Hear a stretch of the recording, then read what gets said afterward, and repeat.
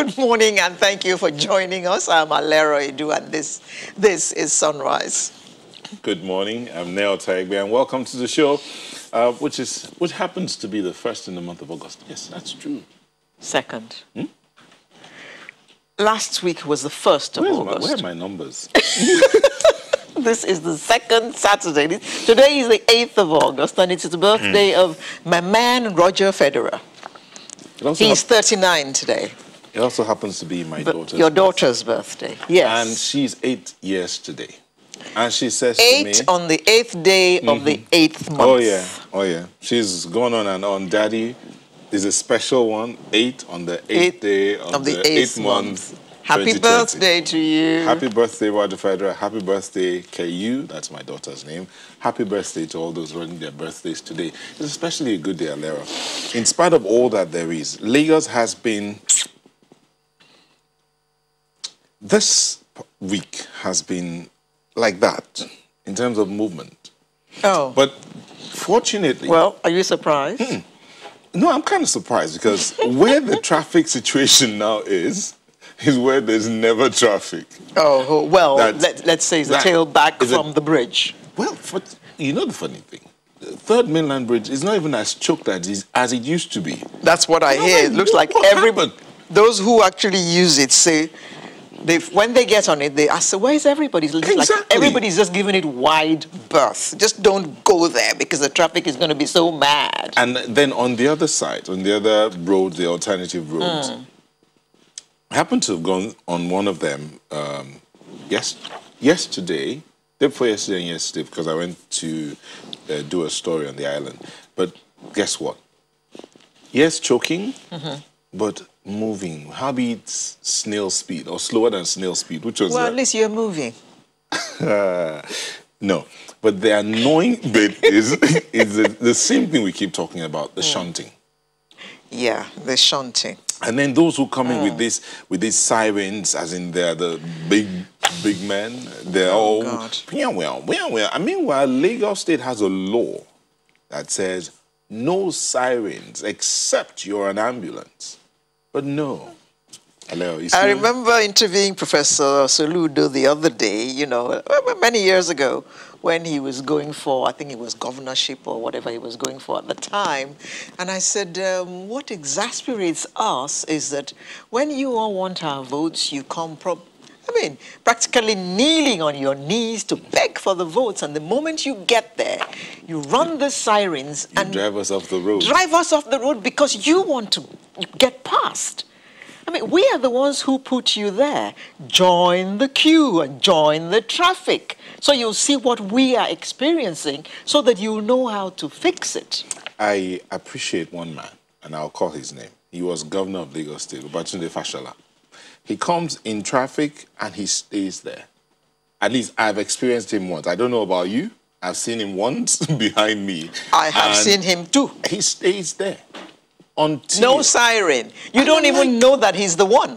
What's going on? you don't even know that he's the one. So now that Lagos is um, repairing roads and fixing, or the federal government fixing bridges, Lagos repairing roads like the Ojota area, blocked off and all of that, we still need to practice driving for you and driving for the other person because Ogudu Road hmm. has now become the alternative route for those coming from Ojota, connecting Third Mainland, or vice versa, whichever yeah. the case may be. Yeah. It's like it's a madhouse. Then all the kekes that ply the inner roads oh are all jumping in and all of that. Please, let's not talk about those. um, and by the way, the first Saturday mm. of the Third Mainland Bridge thing, after I left the studio, I was able to go on Third Mainland Bridge. I was uh, diverted off at Ebute Metta into Yaba, told to make a U-turn and climb the bridge again and go all the way on Third Mainland Bridge. Mm -hmm. But last weekend, I was diverted off the Third Mainland Bridge at Ebute Metta, and I was not allowed back onto the bridge. So I'm asking again, at what time does the bridge shut? Okay, so... The law enforcement people have to be absolutely sure of the information that they're giving out so that people don't say, but it happened last week. Mm. And then they try and do the same thing, and you're diverting them to all kinds of areas, maybe the areas they haven't even been to before. Please let, let's be clear about the information that we are, you, you are giving us to give to people. Okay. Um, well, the initial information says at 12 noon, the bridge shuts for those going to the island. The commissioner of police was here on that first yes. day and said one o'clock. Okay. And I was able to use the bridge. At one o'clock? Up, up, well, after 12, 12.30, because I left the studio at 12. Okay. So I was able to use the bridge after 12 o'clock. So at one o'clock, it's those coming back to the mainland that are allowed to. Uh, it seems bridge. like it is 12 o'clock, not one. Anyway, we, we you know we promised that we're going to bring them back one of these days to come yes. and talk to us again and see what's yeah, been happening. That's yeah, right. Update us what's happening. I know That's that within right. the week, the road safety corps marshal visited the bridge. Um, the Minister of Works visited the bridge as well, mm -hmm, mm -hmm. also to see what's happening and all that. And passing there, you actually see that they are working. I think they are working real hard to see how quickly. So it might get ready before the six months they talked about.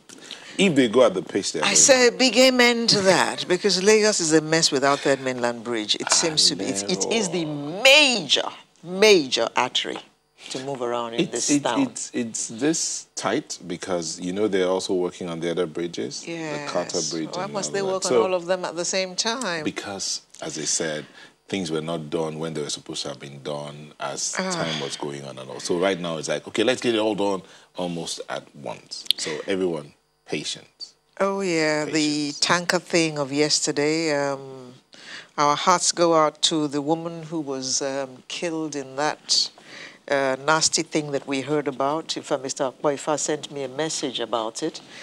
And um, because of that, uh, you have heard that Nupeng is calling the people out, you know, from Monday. Why are they calling their people out? But they said Lagos State is not doing what it should be doing to protect them. To protect them or to protect the people on the road? Uh, them. Okay. Um, and I, I, remember clearly one of the things that they complained about was uh, extortion by law enforcement when they come into Lagos State. Mm. I, it's here. At the end of the day, Alero, this, this thing about you know, when we talk about corruption, someone once said that it's a hydra-headed monster. It is. It's not just at the government, at the top level, it's at every level. The gate man to let you in wants you to grease his palm. He will tell you it will cost you. Thank you. Because what is the gate man seeing? He's seeing your ostentatious lifestyle and feels like, ah, if this person can do it, why can't I do it? Abi. Or you tell a group of security operatives to block the road curfew but their welfare, they don't know about their welfare. They are not, they are concerned about what will happen to them by the time, if something happens to them and they pass, what will happen to their family. They are also, so they are thinking about that and they are looking for how to make up for that.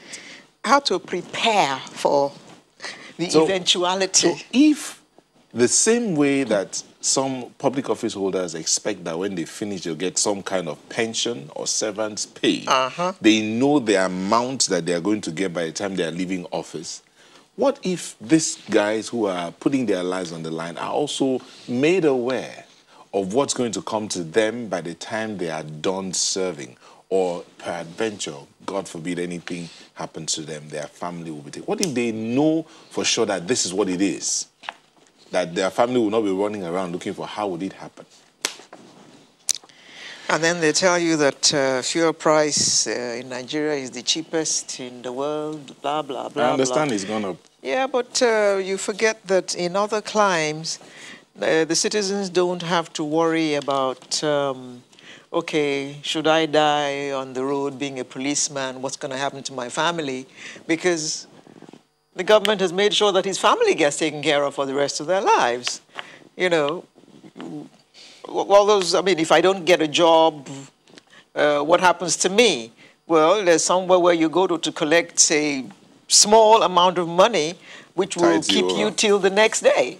You know, all those don't exist in my country, and yet we're comparing ourselves to other people all the time. Alero. People are hungry in Nigeria, and COVID 19 has come and made all that even worse. And then a minister tells us that every single Nigerian received palliatives. Palliatives from where? I'm sitting here. I didn't get nothing. He didn't get nothing. So who are these people that she gave them to? Okay, they said, um, she, hello? She actually clarified that it's not everybody. Oh, she clarified. Yeah, okay, well, sorry, I missed that part of the story. okay, so what's the clarification?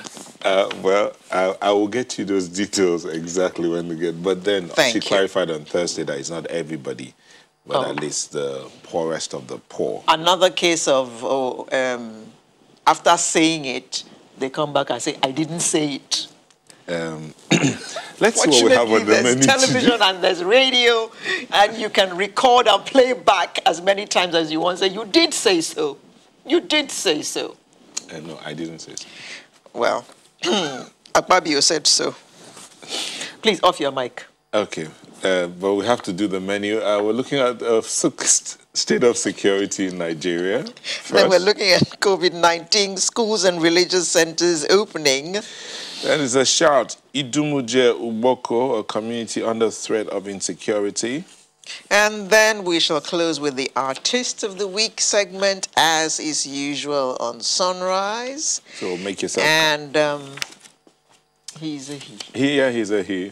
Okay. So make yourself comfortable, and um, we will take a moment, and we will be back. Our Twitter handles will be on the screen. Tweet, send a mail, we'll share with the rest of the world. We'll be back in a moment. Do stay with us.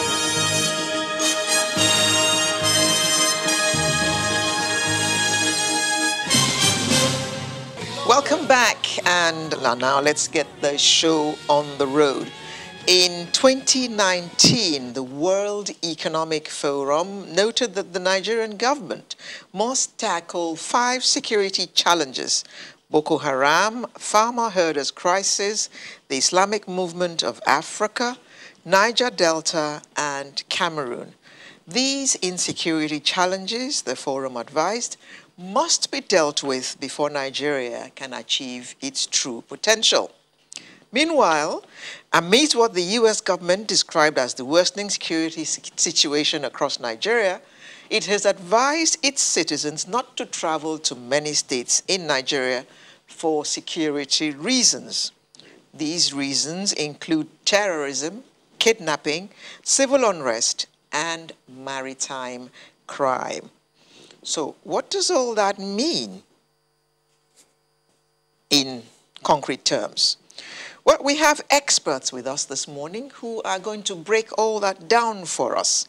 It's my pleasure to welcome Mr. Onyekachi Adekoya, who is a security consultant. Thank you. Thank you very much Good for morning. joining us this morning. And joining us from our studios in Abuja, it's my pleasure to welcome a former DSS director, Mr. Mike Ejiofor. Good morning. Good morning. Thank you for having me. Thanks for joining us this morning. Let me start with you, Mr. Adekoya. So what do you make of this advice that the U.S. is giving its citizens? Does it, does it have any merit? Um, well, I was a bit, I was a bit surprised at the advice, um, knowing that um, the American state had um, um, taken now what you call the American first approach. So my first um, thinking was, um, why are they putting out the advice now? Be that as it may, America has a responsibility to its own citizens. So it's, it's part of the standard advisory they put out from time to time. Mm. And it's not really news that um, the unrest in the Maghreb, uh, just above the, what you call the Sahel region, yeah. uh, is beginning to affect um, the Northwest and it's part of the problems you're having in the Northeast. And particularly when you look at the instability in Mali. Uh, and some analysts have also posed that um, if care is not taken, um, Mali is not really far from uh, the Northwest and the issues happening there may begin to spill over. So I think that's what the American government is talking about. Mm. Uh, so that's not news to us at all. It may be news to some people, but it's not news. So yeah, of, of a truth, there are issues there, and the issues are beginning to uh, morph into something serious, which is why you are beginning to see a number of military operations going into the Northwest. Okay. Now, we are Nigerians. We live here. We yes. don't have any other place to run to. Now, are we tackling these security issues like we should? We heard in the course of, the, at the beginning of uh, the week, um, calls again for the security chiefs to be fired, and they actually had a meeting with the president. Where is all that getting us? Where are we headed? I think that we must first understand the complexities of the problems that we have. We are facing a hydra-headed um, um, insurgency in the northeast, which has now morphed and moved over to the northwest, and we're beginning to see some incursions into the north central.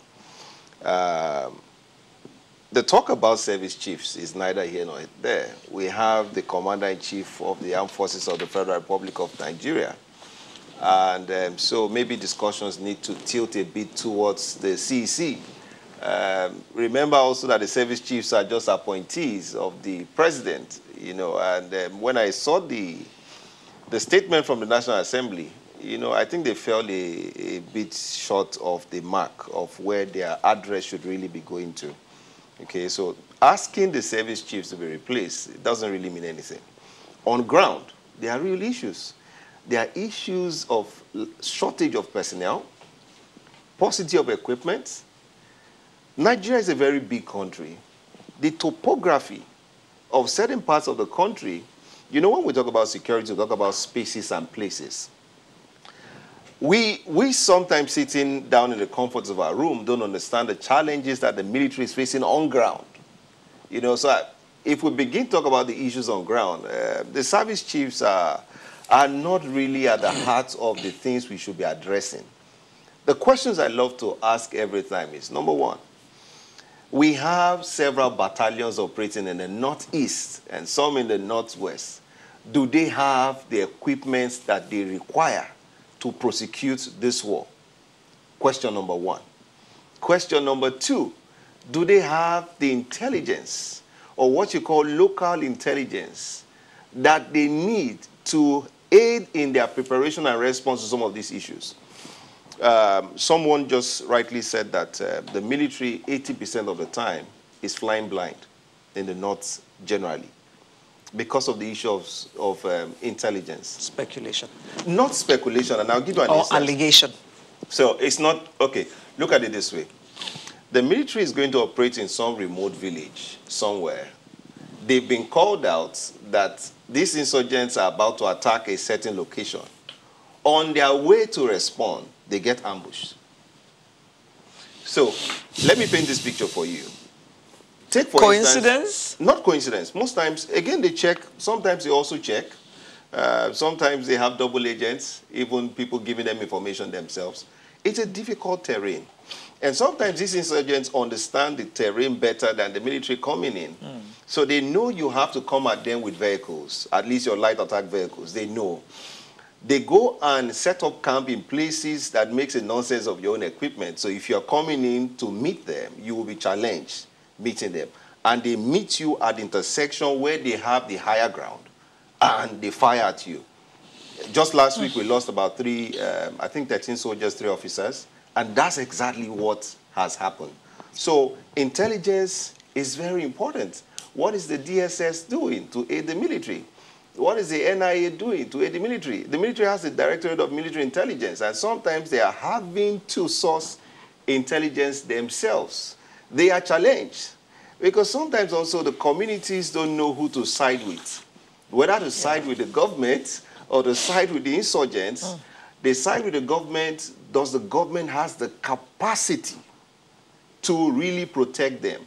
There are a lot of ungoverned spaces in that area. And people have life-altering decisions to make every day, mm. whether to side with the government or to side with the insurgents. More importantly, the people who we call insurgents are from these local communities. Nyota, for example, if you come from Ikeja, and you know the military is coming to attack in Ikeja, and for some reason, your distant relative or somebody you know is among the insurgents. For example, I'm just saying, let's situate this in the case of the Northeast. If you see the military coming, will you alert that your distant relative from your mother's side or your father's side to the fact that the military is coming or not?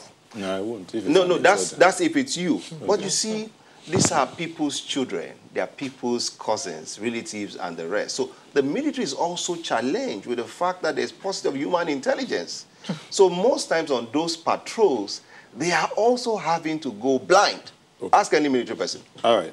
Mr. Ejiofor, um, I do know that one of those times you, you came on one of our shows, you talked about interagency relations. Now, from what um, Mr. Onyekachi has talked about here, he's talked about how this um, question of issues on ground, personnel, equipment, but he centered on information, intelligence, and how it's as if that's a major, major challenge before you even talk about equipment and personnel. Do you agree with him? To some extent, um, I want to commend uh, Onyekachi there for his submissions.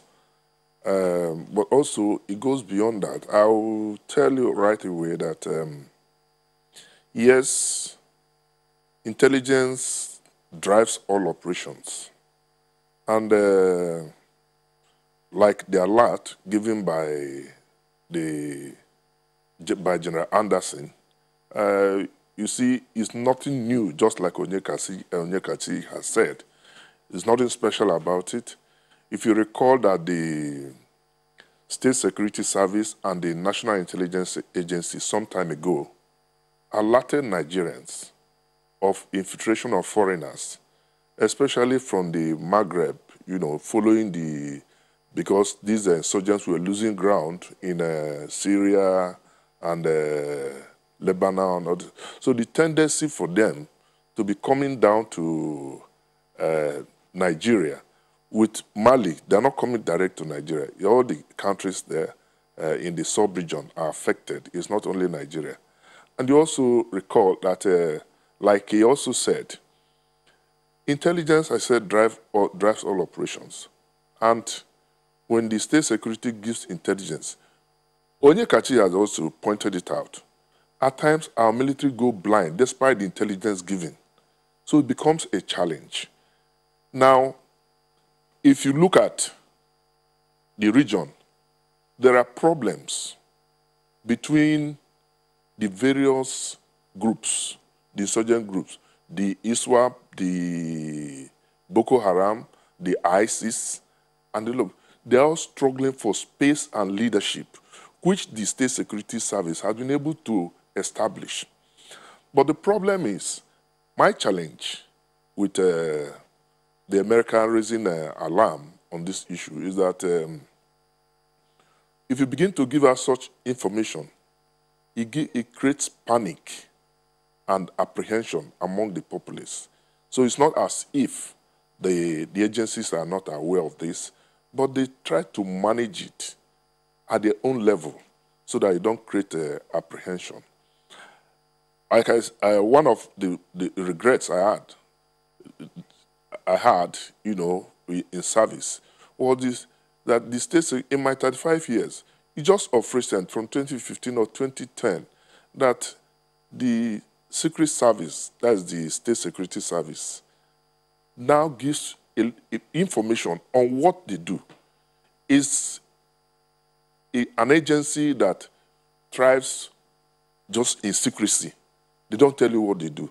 But if I tell you the number of uh, uh, assaults that have been foiled, or what and what has been uh, brought to check, Nigerians might, not, might, might be wondering if you give to this to the uh, public space, there will be problems.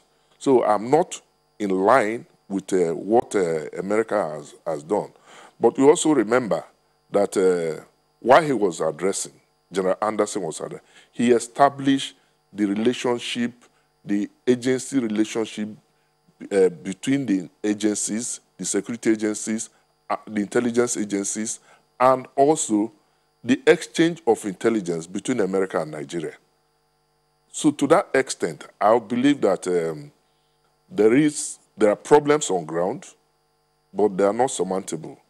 You, you talked about uh, the change of uh, service chiefs. I I have maintained that the only person who is in position to change the service chief is commander in chief. Maybe he has information we don't have, but to the general public, these people are not, they have done their best according to the president, but their best is not good enough. So what do we do to come out of this quagmire? I believe that even if you change the service chief, there's two schools of thoughts. Even if you change the service chiefs now, under the present operating circumstance and environment, there's not going to be any change. Our military and security services are ill-equipped, they're under-equipped, they're understaffed, just like any other uh, sector of our polity. You talk of economy, is with this pandemic also coming in, it becomes a problem. But we have to move forward. Therefore, we need when you say the, the Nigerians, Mr. we need the support of Nigerians. Mr. Therefore, you, this picture, both of you have painted a bleak picture. But I know that Nigerians and indeed the rest of Africa and the world that are watching will be looking to say, because a lot of people have said it, if Nigeria is not at peace, Africa will be very, very unstable. So what do we do? How do we move forward to get all of these sorted? Short, um, short, short-handed, no, not enough personnel, not enough equipment, intelligence sharing, interagency relations. The president's given that directive, re-strategize or rework their security architecture in the entire country. Is that a pointer to maybe something like state police or a, a, a breakdown of the structure so that it's easier to manage?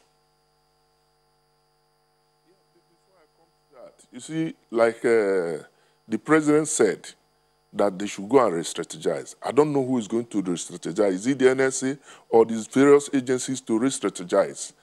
We have had a lot of stories on changing of tactics and uh, strategies, and yet results are not results on ground are not commensurate to what the, to the challenges we have. So it's a, it's a, a, a big problem, and uh, if you look at the issue of, um, take for instance, everybody is worried. Nigerians are worried.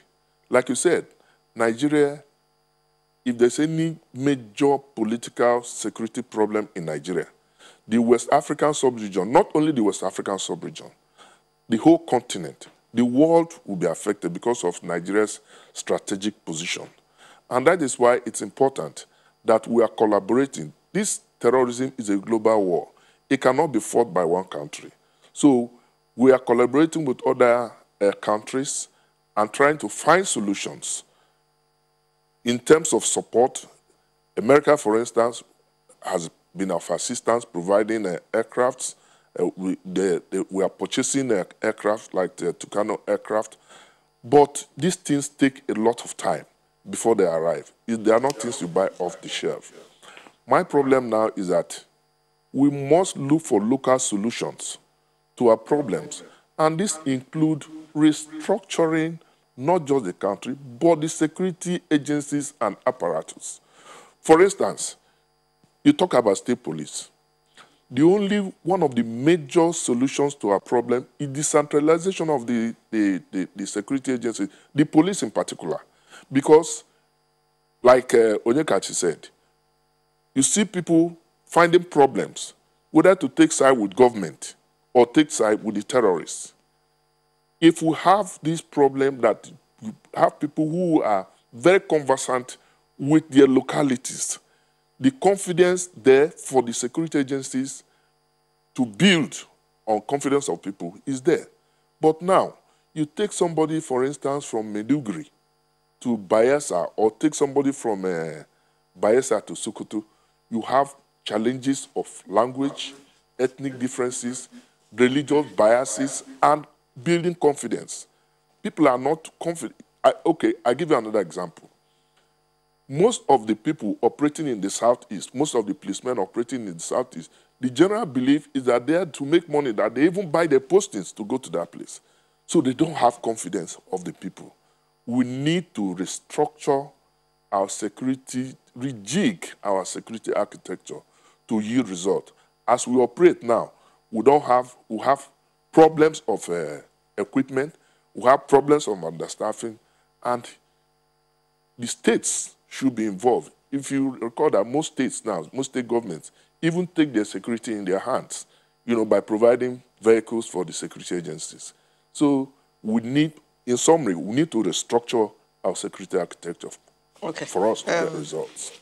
Onyekachi, um, he did say that um, um, our side seems to be underfunded, among other issues that we have. And uh, we also hear that approximately 240 billion naira is spent as security vote every year without transparency. Would this money have helped us in any way in this fight to equip these people who are in the forefront of protecting our lives? I think that we're now delving a bit into a political discourse. uh, first of so all, the matter of security vote is a political one. Eh, to some extent. To some extent. First of all, security is not cheap, very expensive. Um, number two, I do agree with the retention of the security vote under some cloak of secrecy because there are certain things, like uh, Mr. Ejiofor said, you don't bring to the fore. Now, it becomes very dicey. You want transparency and you want security. It has to be properly managed, which is why in advanced country, um, take for instance the American Senate Committee on Intelligence would have everything on mask before them so that you can then enshrine the principles of secrecy and then you deal with issues of security. That's why even government documents are also classified. Um, now, that 240 billion, as purported, is an aggregation of the annual security vote spent across the 36 states plus the FCT mm -hmm. by the executive and by the presidency. So uh, when you convert that to dollars, you're probably not spending so much because we also have to import equipment from outside. So I, I do think $670 million. Thereabouts. Approximately. Okay, so, uh, well, uh, we just talked about purchasing 20 Super A5 Tucano jets. Uh, the military needs several MiG, um, MiG uh, maybe Mi-35 helicopter gunships, which they are not getting. Um, I hear just now that um, the military and the Air Force have signed a new pact to now jointly collaborate better to address the issues of insecurity and they are saying in the next 90 days, the issues of insecurity will be addressed. And I was laughing. That's not going anywhere. The landmass you have to cover. You have aerial surveillance drone that can't stay up more than two hours, four hours. More, more, they have to come back to base. Some of them don't have night vision capability. Even if they have, the space they have to cover is too big for the paucity of equipment that they have. So no, sir, I don't agree. In 90 days, we will come back full circle again. The issues of insecurity will continue. Mm. As long as we continue the present setup, we are not going anywhere. Okay, so um, yes, some governors are beginning to say, okay, I don't need the security votes to the extent to which I've been allotted. We'll use some to give back to the community. I think um, Rochas Okorocha was said to have been spent out of security votes. Um, Governor Seyi Makinde said to have been if you look at the case of Ogun State, the man had an armory. The past governor of Ogun State had an armory where he had over 1,000 AK-47 rifles in the state armory. Then the issue of end user certificate became a bit of a thorny issue in our national discourse. Uh, uh, to some extent, yes. But if you look at states like Lagos State, Anambra State, Rivers State, almost every state in Federation, if the states are not funding the police, the Nigerian police as cities today would collapse and not be able to serve the people. So I'm not holding brief for anybody, but I agree with uh, uh, Mr. Ejiofor that clearly the 1960 setup, in fact, as of 1960, we had a decentralized um, security structure. It was after the coups and um, checkered history of the military that we now went into a full unitary system of government, which is almost what we're still running. I don't think we're fully a federal republic yet mm. because the states can make laws, they can adjudicate these laws, but they cannot enforce laws. So even in terms of structuring, we have a defective structure in this country. In this 2020, we're over 200 million people. The diversity is, is not what it used to be before.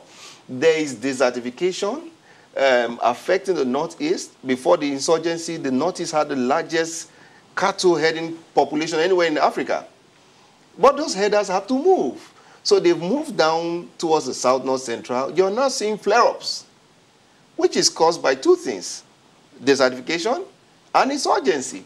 So there's a complete destabilization of some fundamental uh, decision-making structures we relied on before, before Nigeria became what it is today. So things have to shift fundamentally for us to address some of these issues. And I, let me make a point.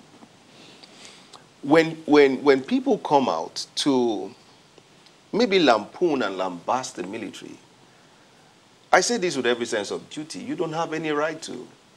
You can, you can face leadership and political leadership. People who put themselves every day in the firing line to defend fatherland and to protect the integrity of this country deserve our respect and our support a people get the security they deserve. I think that our collective uh, conspiracy of silence on the issues of security are part of the reasons why we're where we are. For example, the 13 soldiers and three officers that lost their lives, those are Nigerians. They didn't deserve to die. Give the military man the fighting chance. His morale will be very high. Our soldiers are doing more by sheer will and grit and personal sacrifice than we can ever imagine. And so some of the gains we are seeing on the ground all comes down to the gallantry of our fighting men, not just because they are very well resourced. So I know there's positive fund in the budget. So that's why when Mr. Ejiofor talked about looking for local solutions, mm. we must all come down from our high horses and understand that every approach to security must be local. So let's calm down and find, look, we can, we can talk, stay here, talk the whole day on the issue of security. In 2016, the president had a summit on security. Some of the communiques from that um, summit, how many of it has been implemented? We have a 2019 national security strategy that focuses on human security as a key pillar upon which national security will pivot. You can't deal with human security if you're not talking about um, employment opportunities, you're not talking about uh, welfare of the people, health care. You are, I mean, what's the unemployment rate in Nigeria now before COVID-19? So there are a number of issues, and these issues are fueling insecurity. Okay, so... Let, let me put this to you. Um, yes. This matter of the structure as it is. Yes. Um, so Ahmad Sambo says, changing the service chiefs is not our problem. Our problems are corruption, favoritism, religious bias, and promotion issues in the security in, uh, agencies of the country. He says, there are many security officers or agents that deserve promotion, but they don't get it because of one reason or the other. So yes. you find out that someone, you and I graduated same class. Yes. But I am at a certain level. You, you have gone like five levels because of where you where you come from, where you come from, or where you worship. So that thing about merit is no longer as obvious as it used to be. Ahmed says that's a major problem, not changing of service chiefs. That and the fact that the funding you talked about, who handles this? Executive, legislature, who? Uh, we won't leave here if we talk about the funding. But you see, what Ahmed talked about is some of the problems that we have. When it comes to funding, I mean, politics and politicians, again, have become, they become the problem. Take, for instance, the NDDC case and the Senate. The senators and the reps, House of Rep members, are the ones that draft the budget. They are to supervise the budget drafting process and even oversight implementation. But where, where the senators themselves become beneficiaries to some of those contracts, already Nigerians have been so short. Okay. Uh, we'll take a, a, quick break. When we come back, Mr. Ejiofor, for that matter of issues within the structure, promotion, biases, favoritism, and funding. How do we resolve all of this? We'll do that when we come back from this break. Just stay with us.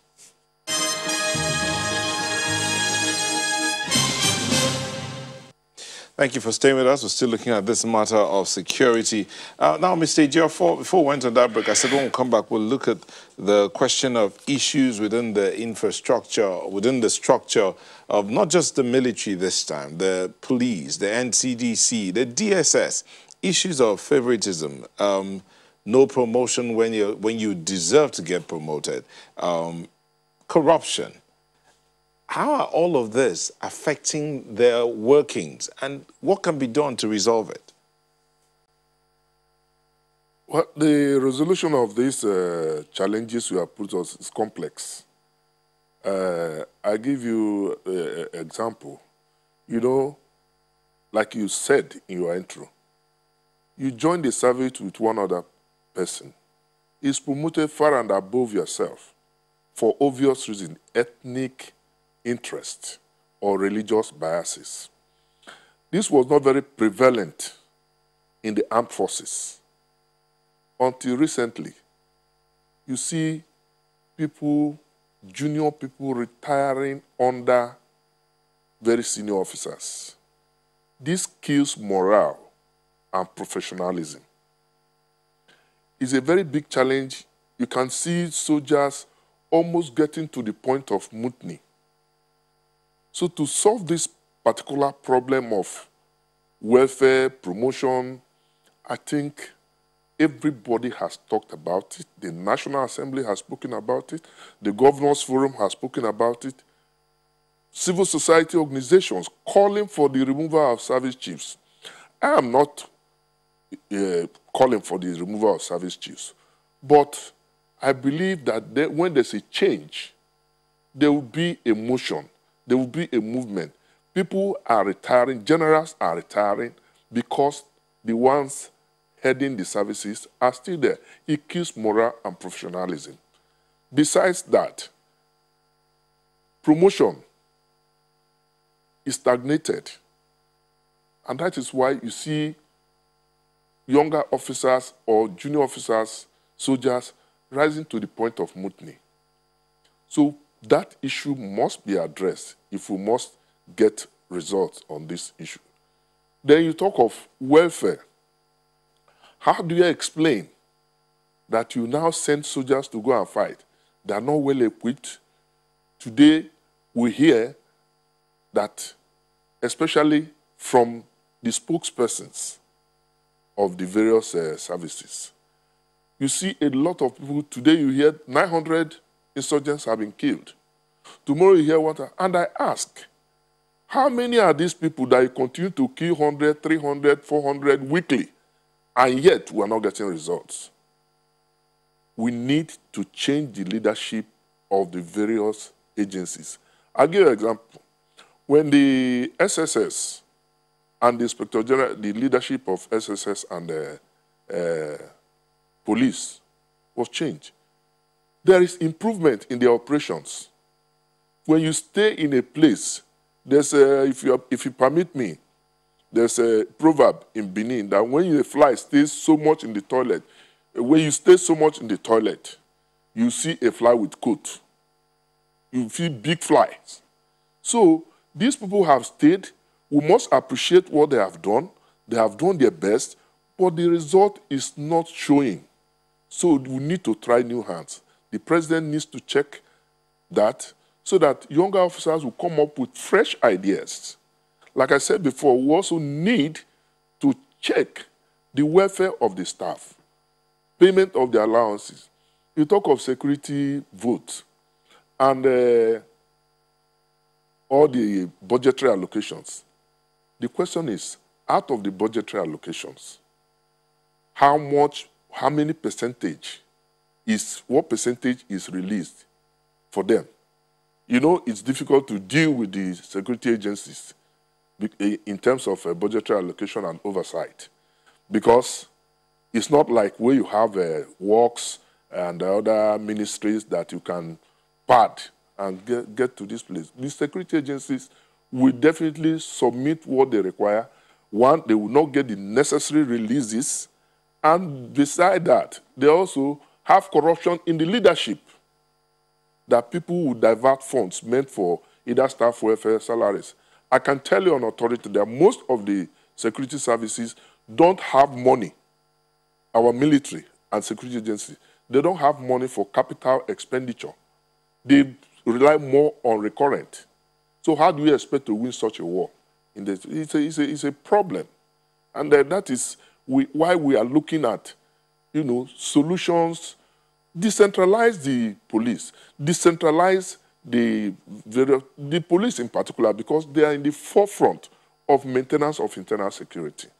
If you don't get that done, you continue to operate that, okay, look at, we have security challenges, and I've I beg your pardon, Mr. Ejiofor. Are you referring to state policing? Are you referring to state policing? Yeah, well, the Inspector General of Police has introduced uh, community policing, but it goes beyond that. Because who controls the community policing? It has no control. But if you bring state police, which has, I've always been advocating, it brings uh, security closer to the people. You mobilize the people, and they have confidence in working with you. As it is now, we are not going to get any result. We need the center is too strong. Where IG will be here giving instruction to the commissioner of police. You look at the governor, you say you are the chief security officer of the state. You cannot take order from him. I was privileged at least to be uh, a, a, state director in, uh, in about eight states in this country. If you are not dancing to the whims and caprices of the chief executive, just forget it. You will never get cooperation from him. But if he is in charge, he has the power to fire and hire. But as it is now, is the, the, the command, the control is from the headquarters, and you continue to see changes, transfers of uh, uh, state uh, commissioners of police and others. And this does not occur well because it disrupts continuity and flow of operations.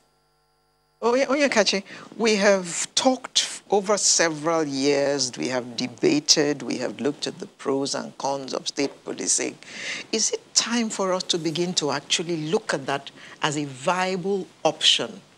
We have seen many states come up with their community policing outfits, but they have all seemed to, they're all very quiet. We haven't heard anything, well, we haven't heard much from them since they, all the fanfare setting them up and all that. So where, where, where are we in this? We, unfortunately, we are far behind where we should be. We are talking about issues that we should have dealt with, say 20 years ago, and moved on to other issues of even community policing. Now we are trying to put the cat before the horse wanting to bring community policing, presently as constituted, will not achieve anything. The constable is not an employee of the federal government or the states. He is not paid. He would not be armed. He will have his uniform. He would be tasked to do what any citizen can do by the Constitution, effect a civilian arrest and hand over to the police. So it's, it's, we're not going anywhere. So state put, by now we should have gone beyond. People talk and say in Nigeria, we are not matured enough, we are not this, we are not that. And I beg to ask a question. How is the current situation different under the federal government? How will it be any different from under the states? We will go to a process and mature in it. We can properly constitute a state police board. We have retired senior police officers who can come and set these things up. Lagos State has shown how LASTMA can work. So it's doable. We shouldn't be having this conversation. The fact that we are having this conversation shows how far behind we are in these issues. Unfortunately, people are paying every day in this country with their lives.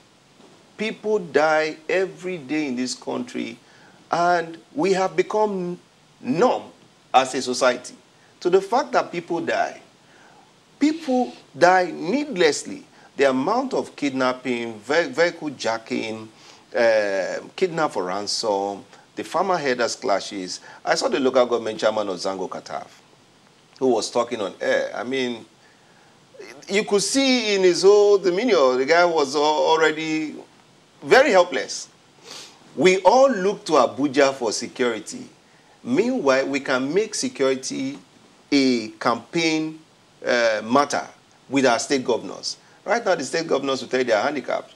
The then Zamfara state governor resigned as CSO of the state because he said, hey, look here, I don't have the control of the apparatus of state. The governor of Borno, who said that he may ask for, I'm sure he was joking, may ask for the military to be pulled out so that they can send in hunters. This is not a matter for hunters. So, I mean, across the country... But it just points to the fact that how frustrated he, he is he with the is, situation. He is frustrated. He is, if he is frustrated as a governor of resources, how frustrated are the battalion commanders at the front lines? What logistics support do they have? Now the army is now muting up an issue of a, a army aviation, which I think is something we should have done by now. The army should have its own air unit. It should have its own air unit. Should have its own surveillance units. Every super camp should be set up with platforms that will give them eyes and ears beyond their camps. It is not a joke when we tell you that the army on routine patrols sometimes are flying blind because when they pull out from their bases, some people will inform the other side that these guys are moving you can't see what's on the other side. So is it possible that there are saboteurs within the structure itself? We are talking about competence, not competence, we're talking about capability to protect. Where would the people align? Where would they fall to? Do they feel more confident that the government has the wherewithal to respond and to protect them? Now, by pulling back to super camps, we're saving equipment, yes. We're saving manpower, we're saving life, yes. But then that leaves with a lot of ungoverned spaces and then slows down the response time. The challenge now is when you want to respond, you need to go on those roads, which is why the military introduced uh, moving out on bikes and having to be able to at least meander around some of these traps they are faced with. So the issues for me, I think, maybe we're not going to get it until the next administration. I don't think we'll get it right. But some of us are beginning to propose that maybe we are right for a situation where we have a national security advisor who is not ex-service anything. Let's have now a renewed thinking, a policy-first approach, so when the Navy is bringing up the idea, there's no bias. When the army is bringing up there, no bias. When the DSS is saying this is what we need, no bias. When the police is saying what, there's no bias. There's no traditional way of thinking. There's no constituency to fall back to. It's all let us come. That's why you're seeing this interagency rivalry that the inconsistency in collaboration. Because at the peak of the person that brings the advice into the president, at that very peak, you know, uh, some things are not the way it should be. So when the NSA said he has been charged, so where would he start from? The DSS has several operations running. The police has several operations running. The army has several operations running.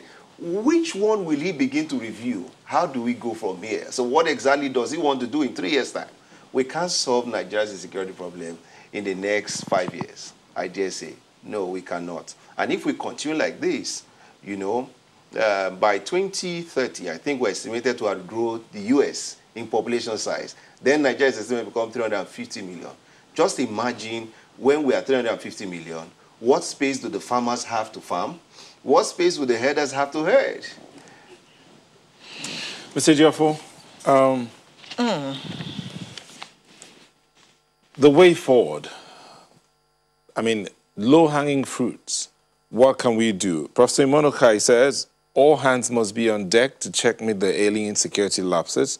He says if we change the service chiefs without restructuring the security architecture of our policy, its workings and still going, it'll still be hopeless. Um, Ayotunde Richard says Boko Haram is basically foot soldiers. Therefore, Nigeria's military should invest more in airstrikes as there is no terrain in the air that is difficult and inaccessible instead of wasting the lives of our foot soldiers. Um, Festus Akinbo says technology can help us improve our security tremendously. Our forests are not as thick as they are in many countries, but they are able to use technology to police their forests effectively. Mr. Ejiofor low-hanging fruit as we wind down, what would it be? We, we just have to restructure our security architecture for us to achieve results. we need the, the, the, the president needs to look inwards, get bills, sponsor bills, executive bills to the National Assembly to enable us have uh, the state police.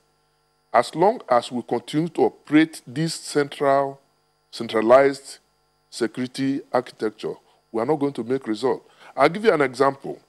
You remember when uh, Amotekun was uh, set up? Within the first few weeks, as we speak, they've not started operating. But because of show of force with their vehicles and everything, crime tended to renew. And I hope and pray they will take the initiative to start full operations in the southwest. Because once they started, you saw that they, they, they, they now migrated to Delta, Edo, and uh, the rest of the states. So every state must take responsibility. The argument that it will be abused by the state governors does not hold water because as we speak, the federal police, the Nigeria police, is also being abused by the executive at all levels.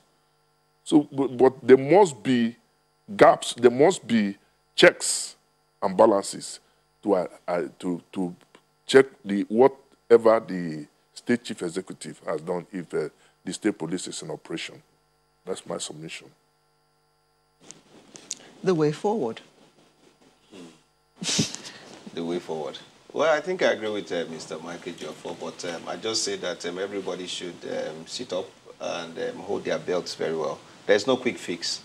There's no quick fix. Um, we can only start to progress when we take back the approach to security down to the local communities, down back to the states, and then hope that we can find ingenious context-based um, programs that can help us address some of the issues of security. But I would just say in closing that um, without um, economic prosperity and development, there can be no security.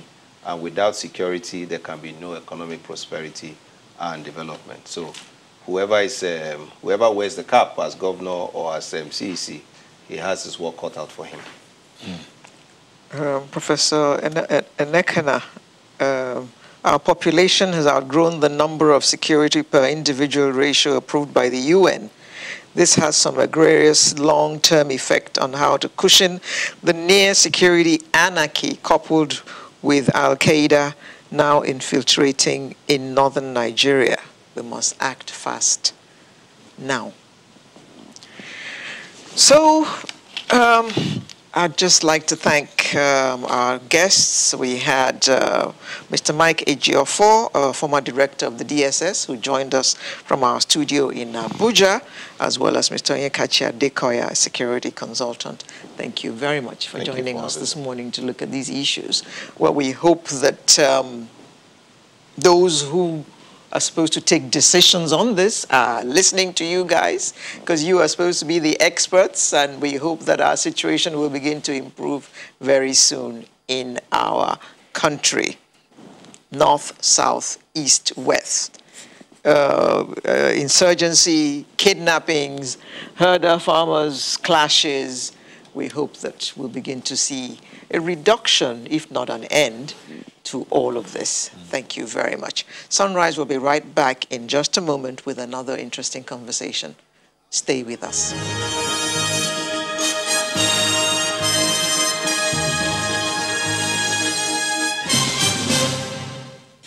Thank you for staying with us. We must hold on and be strong. No matter what happens, whatever's thrown at us, we have to stay strong.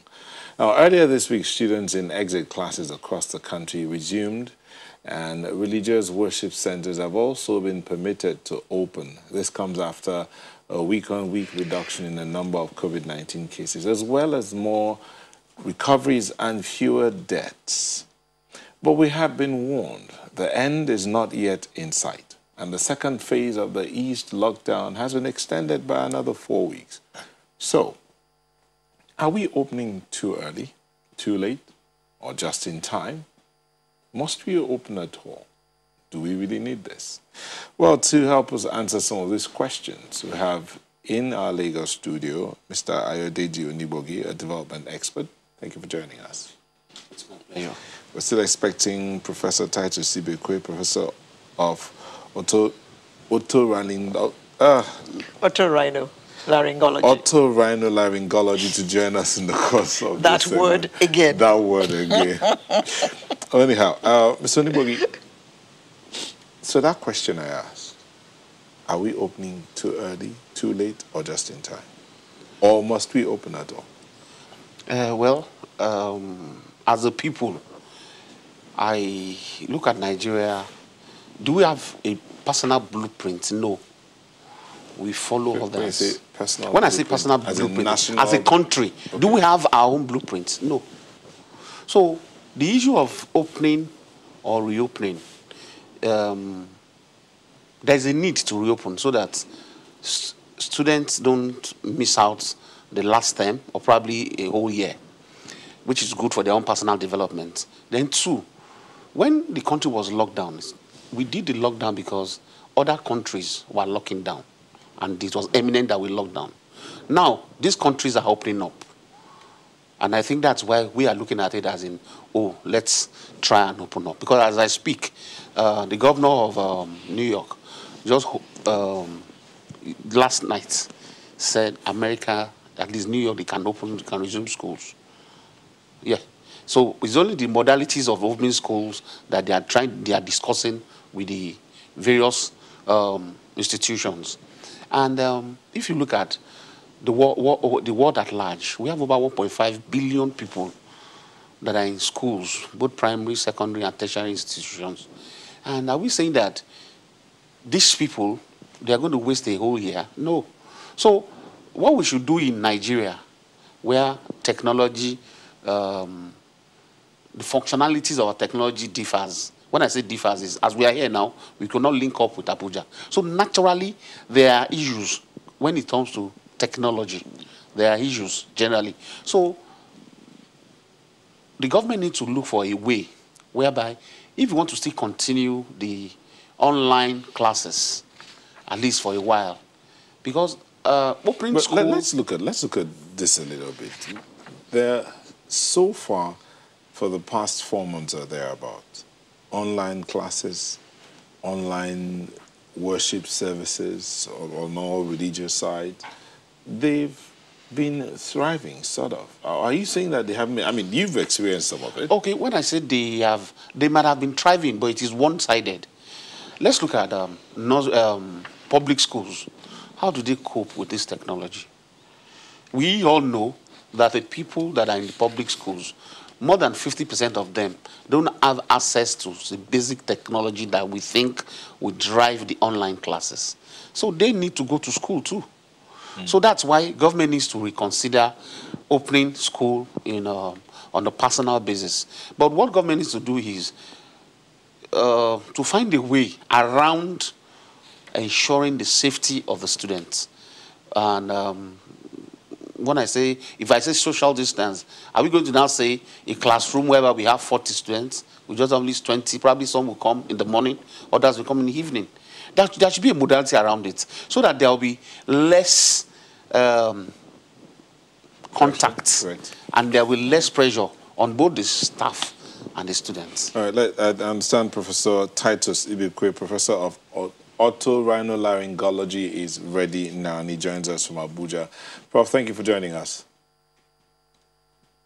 Thank you very much for having me. Okay, so the schools and the religious centers have been given the approval to open, but Mr. Onigbogi is concerned about the, uh, in his words, do we have a localized, self-generated formula or modus operandi for all of this? Or are we copying other nations? Are we opening too early or just in time?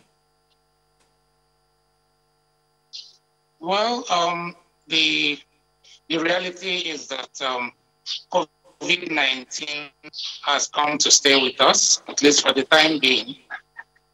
It's a new normal, and um, there have been modifications of ways that people are living, including Nigerians you know, to be able to live and stay safe within this period. As we know, um, life and livelihood are very important. So we can't lock ourselves indoors perpetually. Um, that would even be calling for a greater problem. Um, reopening of school is, um, I'll say it is timely, it's called for, um, but of course there are conditions which must be met and which has to be strictly followed to make sure that this is safe. Um, we know that um, we're talking of phased reopening here. Uh, that is to say, those um, group of students, the classes that are pressured right now, that have um, exams and uh, related um, exit tests to do, that will ensure that um, their future is preserved towards progressing in life. Um, those are the focus right now, which makes a lot of sense because where there will be problem, and indeed the countries that had problems are those who decided to throw their floodgates open, reopen schools at every level at the same time. So you will find it difficult to be able to handle such situation. But where there is phase, we're talking of only exit classes. And over time now, there has been series and chains of debates on how to ensure that safety and precautionary measures are um, adhered to. Um, it takes two to tango, so it is a collective responsibility. We are talking of safety of our students here, equally the safety of the teachers, the proprietors of the institutions, and of course, the parents and the larger societies are important. So when we all play our roles, uh, following the guidelines that have been clearly stipulated, it is safe to go ahead and contain um, this percentage uh, of students who will be utilizing the same facility hitherto meant for the entire students, entire populace, the same set of teachers hitherto meant for a designated number of students, and will work out proportionally and ratio-wise and abide by the strict rules and regulations is going to work. Let's and the country is even thinking of possibly um, jump-starting international travels, which by every intent purpose is even more dangerous compared to what is happening. So once we're able to abide by these simple rules and regulations, um, I think our students will be safe to do their exams. The key word here is phase reopening. Okay, Professor Baker, but from before now, the the the periods we've seen the ease, the eased lockdown, we've seen marketplaces where the issue of wearing masks is not, I mean, it's very few people are actually wearing masks. Even on the roads, you see very few people wearing masks, even though the government continues to announce and pass across information that wearing of masks and different states are adopting that you must wear your mask before you leave your house. But you still find a lot of people, at least six out of 10, without masks. And now you're saying schools and the religious centers should open. How about, um, how do you say, enforcement? Do we have what it takes to enforce?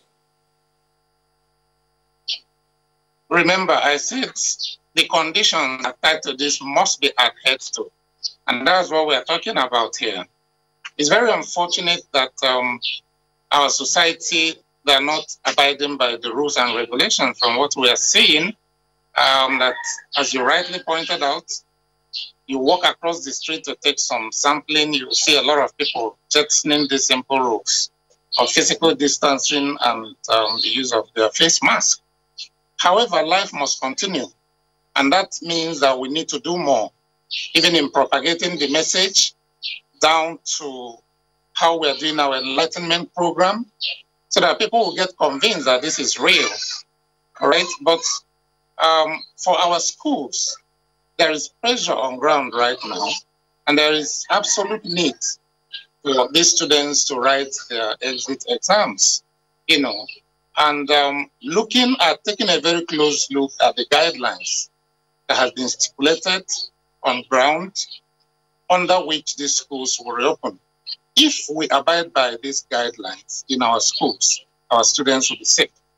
That is exactly what I am saying. You saw the uh, clip of the minister, when the Minister of Education, when he visited um, a particular school, I don't know, maybe in Abuja, I don't know, and also um, the mosque, so some, some mosques yesterday, and how temperature was being taken before people were allowed in. They all had their face masks and there was social distancing. Um, if you saw those clips, how impressed are you with what you saw to the extent that uh, people are actually going to adhere to the guidelines given? Yeah, this, this, is, a hard, this is a hard nut to crack, really. Um, that if you take a look at, um, as I said, what is going on around us, you'll start casting doubts and having doubts. But let's not forget, as I said, that today, as we're speaking, there are interstate travels. That if, strictly speaking, you look at even the rise in cases and the incidents, one would be tempted to say even lockdown should continue. Interstate movements should still be restricted, all right? And everybody should be indoors. But we know that this is not feasible. Uh, as much as possible, this is a disease of nature and nurture. And there must be a balance between these two. And um, that is the essence of making these visits and picking out holes and ensuring that these things are corrected even before the students come back. And it is also instinctive to note that there are some clips that also show that are very, very cheering you know, on your channel here of what is happening in Taraba and some other schools, how strictly speaking, um, this uh, stipulated guidelines has been obeyed and um, strictly done. And I said even in an earlier program um, here that the responsibilities should not be left to the preparators alone. Um, the government should augment in any way that these schools are lacking to ensure that they have the basic facilities. But now there are things um, which is within our own powers to be able to make sure that it happens, even without government coming in here. Stuff like physical distancing, like using of face mask, which are the two most important um, steps in controlling this disease because you'll be able to curtail source spread and you protect the environment when this too. And there are some good news also coming. At least we know that um, uh, our thought earlier on, uh, those who are asymptomatic, they don't transmit this disease as rapid as we thought, which means that everybody in the school ensuring that this face mask is used will surely protect. And I've also suggested that certain age groups among the teachers may be excused from even these um, uh, revision classes that will be ongoing in the next 10 days or thereabout for the exams. Those who are very elderly, uh, who are approaching 60, will be excused. Then the rest of the teachers who are there can take up that responsibility. By doing that, you're also protecting the teachers. And everybody should be prone to the screening that is being done, not just the students alone, including the teachers, the workers, everybody. And if we utilize the entire facilities in the school, all the classrooms as they were, despite the fact that we have fewer students returning, we'll be able to have a very good spread. And if possible, in open places, we do this um, learning so that we have enough spacing and enough distancing, utilizing most of the teachers so that the teacher-students ratio will be very, very minimal. If we observe all this and using so many centers even during the exams, you know, is going to help us. So it's just looking into the nitty gritties. We as parents will have roles to play. Our students who are very, very, our children who are very enthusiastic to have these their exit exams written, having approaching now the diminishing return, they have responsibilities also. The same thing with the teachers and the preparators of various institutions. So if and government too, if we all play our role, then definitely we'll get it right. And um, the life will continue while we still keep on struggling to ensure that we overcome this disease as much as possible. Mr. Onigbogi, let's look at uh, the churches now. Uh, the mosques reopened yesterday, and uh, I was quite uh, pleased with what I saw on TV. You know, some footage of some mosques, social distancing, all of them with their masks, somebody at the gate checking temperatures, you know. So the churches are going to reopen tomorrow. Now, um, how um, do, do you think that these guidelines are all going to be followed when churches reopen tomorrow?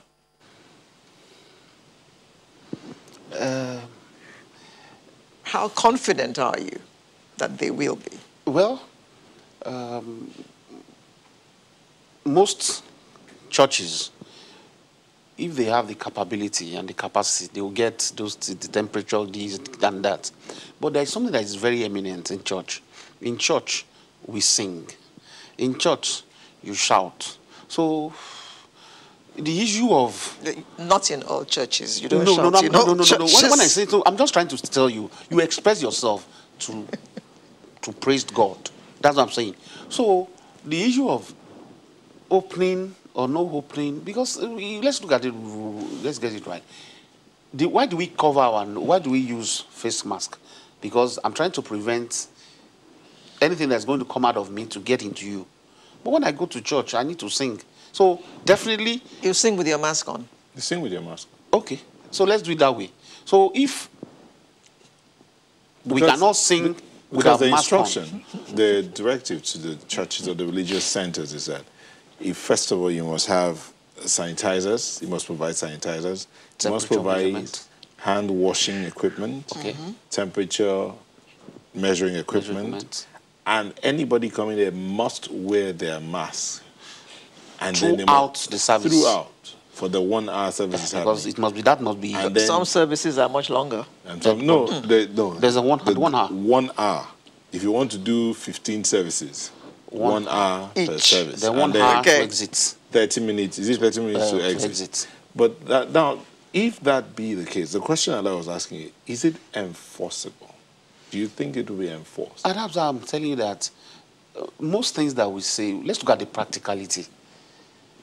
The type of nose mask we all have in Nigeria. If I talk, I'm very sure that you might not be able to hear what I'm saying. They are not. They are not audible. You understand? So that's why I now go to the extreme to say, when you go to church and you sing, how God will hear you. Okay, God will hear you. So let's do that way. But, that, but it now shows that all worship centers, both church and mosque, it is now the honors of the leader, the spiritual leader, to ensure that all these things are properly done. Because the police cannot be there. The police we have, they are already overwhelmed with other activities in the country. So who is going to enforce? So the person that will enforce must be the spiritual leader, which is the pastors or the imam. So this must be done. If not, he- the, the, the, all government is planning could be, um, might not work. So we're going to encourage everybody because it affects both the Christians and the Muslim. We need to rally around and ensure that in as much as church and mosque has been opened, we don't increase the number of COVID-19 patients. And, you know, Al- Alero talked about what she, the impression she got from what she saw. I saw some other ones too, where there wasn't much of social distancing. Some mosque visited yesterday. Um, again, would, do you think there's a likelihood that because they're not following these laid down protocols, this release might be re- rescinded? Yes and no. Everything depends on um, the size of the mosque and the size of the church, and that's why it's it's advisable to for churches that everybody wants to come in at the same time. Probably have to have canopy outside. Then for mosque, that everybody wants to come to inside the mosque at the same time. Probably to they have canopy outside so that there will be limited people inside the mosque, so as to create the social distance that is acceptable. Okay, but In if there are limited they- people inside, but then the bulk of them are outside, no social distancing, what No, happens? there- But there- we'll look at that. We'll, there come- social distance. we'll go on a quick break and we'll come back and talk about that. Do stay with us.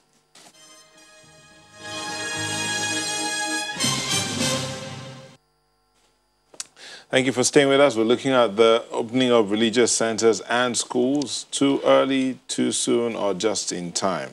We have Mr. Onibo, uh, Mr. Onigbogi here in Lagos, and we have Professor Ibekwe joining us from Abuja. Professor Ibekwe, let's look at the this matter of the religious centers that have opened. I mean, the mosque opened yesterday. They had Jumat services across the country. And then the churches are opening up tomorrow for their services. Some of these centers opted not to resume any activity. Um, but when you hear or what you, from what you've seen yesterday from the Jumat services, what do you think will happen in the uh, church services? Well, um, you know, as it is, um, we Nigerians um, are claimed to be very religious set of people. And of course, we know that um, religion is part of the spiritual well-being, which is equally important in life. However, um, we have to be alive before um, we'll be able to worship. This is true. But at the same time, until a man gets challenged before he will know his real capacity, I don't think that the eight um, rules and regulations, the guidelines that are stipulated, are things that are so difficult to abide by. Um, if truly and sincerely uh, people consent, the religious leaders and the worshippers um, are very cautious to ensure that they abide by these rules. But of course, it is instinctive to say that any group that feels they won't be able to abide by these rules, strictly speaking, should opt out. And there should be surveillance in place um, by designated authorities to ensure that this is done. And um, any religious house that is found to be, you know, thwarting these laid down procedures uh, can simply be shut down. So if we, we have some enforcement into this, I think that um, it, it, may work, may work, truly and sincerely speaking. Um, as earlier pointed out, given the number of congregations that some churches have and some mosques, you start wondering how they'll be able to do this. But of course, it's one-third capacity of whatever worship center that we have been using, and as stipulated by the guideline, we must not exceed this and even the time limit, the contact time, which is one hour. And there must be a period of sanitization of the same worship center before and after each round of service. So if it is one hour each and everybody comes with face mask, and we're able to maintain these um, physical distances of two, two meters, you know, uh, I think we'll be safe. But anything contrary to this, is not going to work. So um, that's what I will say. But I will advise that um, each and every one of us should take this as a responsibility because it calls for discipline. And we're talking of is Nigerians that are involved who have been clamoring that they need this. You know, they need to do their normal worship, be in tune with their gods, which we can't deny anybody. It's their fundamental human right. But at the same time, this must be done safely and that's why these guidelines are in place. So if it is matched with surveillance and matched with determination by members of the congregation and indeed the various religious leaders, it is doable. And they have to modify a lot of activities that hitherto they used to carry out in their various worship centers to accommodate these time limits and also eliminate those practices that bring about direct physical contact. Just like the conventional, you know, um, uh, going around to have handshakes and um, to make peace, all those should be out. And any other thing that will bring about physical conflict. But at the same time, I give kudos to those religious institutes that feel they won't be able to abide by this. Please, you opt out early enough to avoid, um, uh, you know, making our situation worse. An alternative is still out there, which is worship. Uh, for unlike in schools where we're finding this difficult, given that um, the facilities for learning uh, has not been widely spread out, because ordinarily one would have been thinking of would these exams and stuff like that be conducted virtually and online, but we know that majority of the students don't have access to this. So it takes two to tango once again if strictly speaking, will be disciplined and be able to abide by these rules and regulations, will play safe. Because these guidelines were thoroughly looked at by experts drawn from different fields, including medical fields. Members of um, the COVID 19 committee, NCDC, had to come out with this and feel that it is safe if they are strictly applied. Um, we, we, we saw in that uh, clip before you, uh, you came on um, all those guidelines being adhered to, you know, hand washing, um, uh, ports it here and there, and sanitizers and all that. It's all well and good in the urban centers, but do you see all this taking place in the rural areas, in churches in the rural areas? Yeah, that's a very good one. That calls to question. And that's why I say that surveillance is very important, you know, and that we also have to up our games when it comes to um, publicity and how we are transmitting this information. So if there is evaluation and re-evaluation of this system, um, that will determine if this has to continue because it can't just be a one-stop cap. It's something that has to be worked over time so that people don't even go to relax. Those we are seeing who are abiding by these rules now, will they be able to carry on with this over weeks to come? Time will tell. But let's do our own bit of the job, passing the right information, holding the religious leaders responsible because their followers very much believe in them. And they are the change agents who will be able to transmit this information in the language that their followers will understand, including in these rural areas that we are talking about. So if we do this, it is possible. But if that is not done, then it's not going to be a very good one for the country. Yeah. Mr. Onigbogi, uh, Festus Okimboyo says, I am more concerned about opening churches because many church buildings don't have good ventilation and airflow. Not just, not just churches, even mosque. What he's saying is right. Hmm. Even there are some churches in where they are situated, is already they are already choked. So all these are things that it is now the church leader or the spiritual leader or the mosque leader that must ensure for such church or such mosque, probably get canopies outside. Because if the space you have in is too, um, it cannot accommodate more people. So it's better you get tents outside. Or you get more, if not, there'll be, what we are trying to avoid, we, we, we, we recreate it if we are not careful. Because it's not compulsory that you still go to worship centers if there'll be there'll be there'll be more issues. Because if if churches are mosques, if they are where, where they are situated already is already a, there's a problem mm. with their size, and then such church or such mosque is not expected to open. And the guideline also encourages as many as can to have their services outside. Outside, yes. Because it's better for you to be in an open air arrangement than a closed circuit arrangement so as to limit the spread. Yeah, and Prof, let me, let me bring this to you. What about churches that are air conditioned?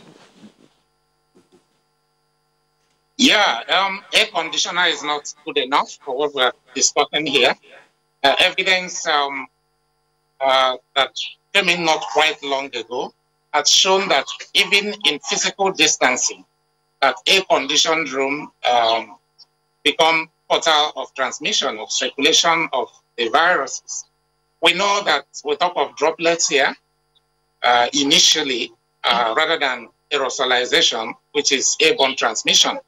But now airborne transmission is real, and even the uh, you know the dividing line between droplets and uh, aerosols is a very thin one uh, because the heavy particles, depending on the air current within an environment, the temperature and also the humidity can easily be converted to aerosol. So air conditioner should be discouraged. We need a good ventilator, as my colleague over there said, a good ventilation. And um, outdoor activities remain the best. If you go to the indoors, keep all the ports of entries, windows and doors open to ensure that there is good cross ventilation. And of course, maintain safe distancing. That's why even if it takes to have seven rounds of worship within this period, to ensure that strictly speaking, these rules are you know, um, stopped by, it is very important to do that. So those cozy air-conditioned places should be discouraged for now as much as possible. Be open. So um, uh, Festus says pastors must um, wear face masks when preaching. This is not a time for somersault and acrobatic preaching. Festus Akinboiwa.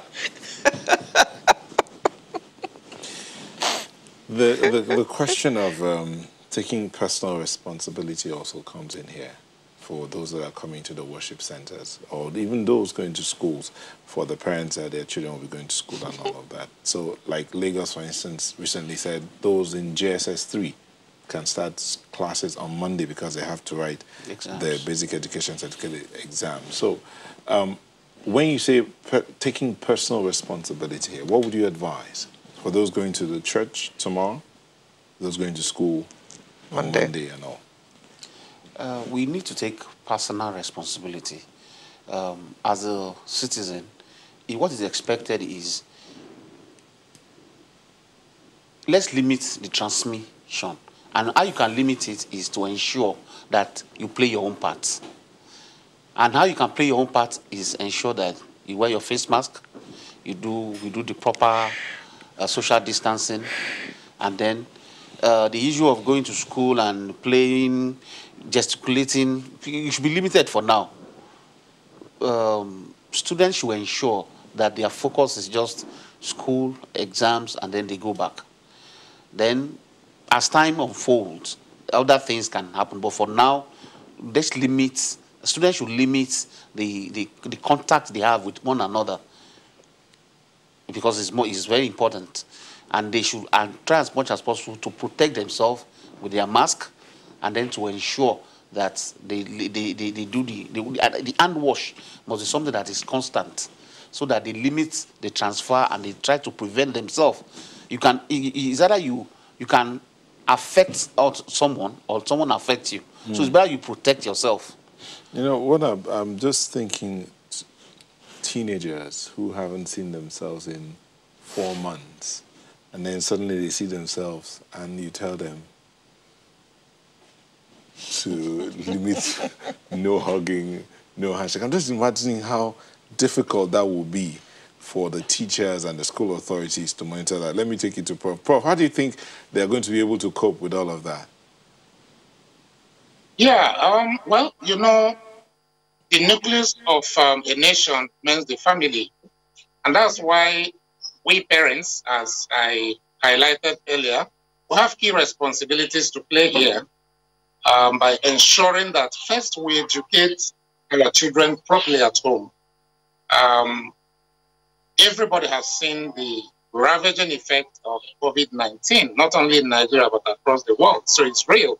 You know, when you um, counsel these children very well and good enough, for instance, the exit classes, these are the older children.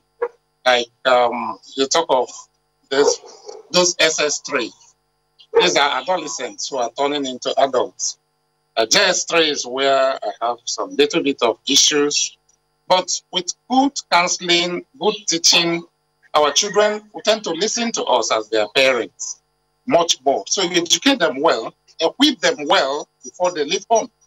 I have advised earlier on that you have um, homemade face masks of about five in number inscribe the name of your child boldly on this so that the idea of mistakenly misplacing or exchanging this will not happen. One per day during these five days in a week. It is washed, kept, ironed, one per day. This is done and strictly done.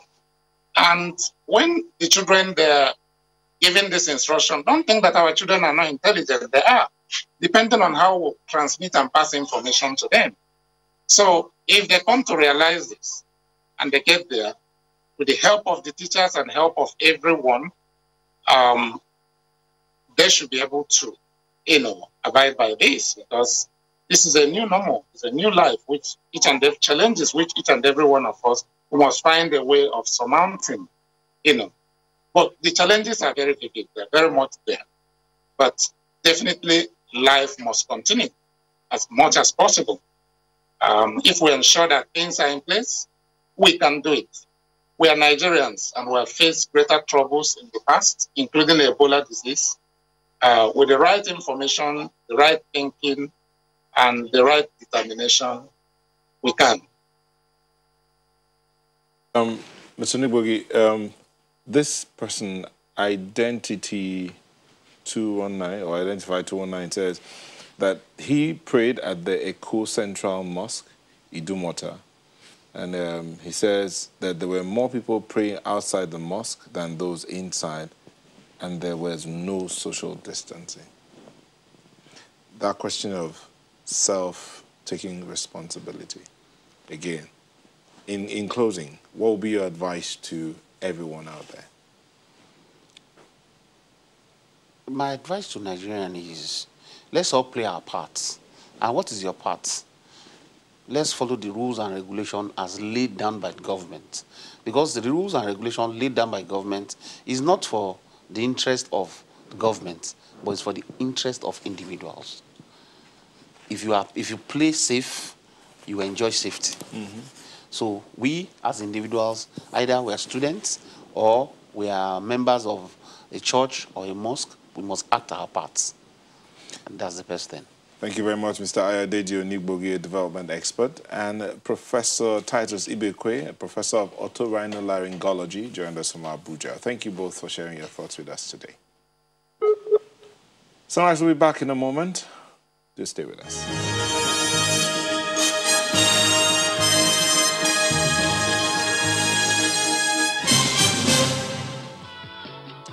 Welcome back. Now we have a shout, and it's coming from um, the indigenes of some indigenes of Ugboko, a community under threat of security in Delta State.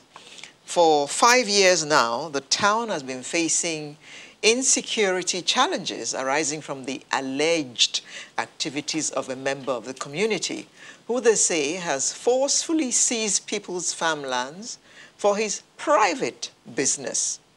Those who dared to question him are said to have been arrested and incarcerated on trumped-up charges and also on investigated charges, some incarcerated for up to two or three years. We have in the studio engineer Igwe Enoyibo. Good morning. Good morning. Um, we also have Chuks Nwoko. Good morning. Thank you for having me. And Uche Aligbe, all indigenes of Idumuje Ugboko. Good morning to all of you. Morning. Morning. Um, now, let me begin with uh, Mr. Nwoyibo. What seems to be the problem? Yeah, good morning. Thanks so much for inviting us.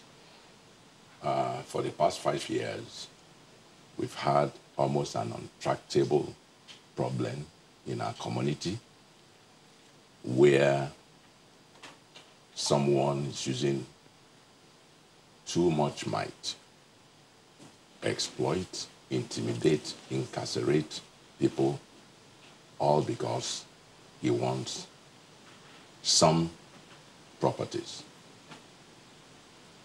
About five years, about eight years ago, the community generously gave out 33 acres of land. Free. 33 acres of land is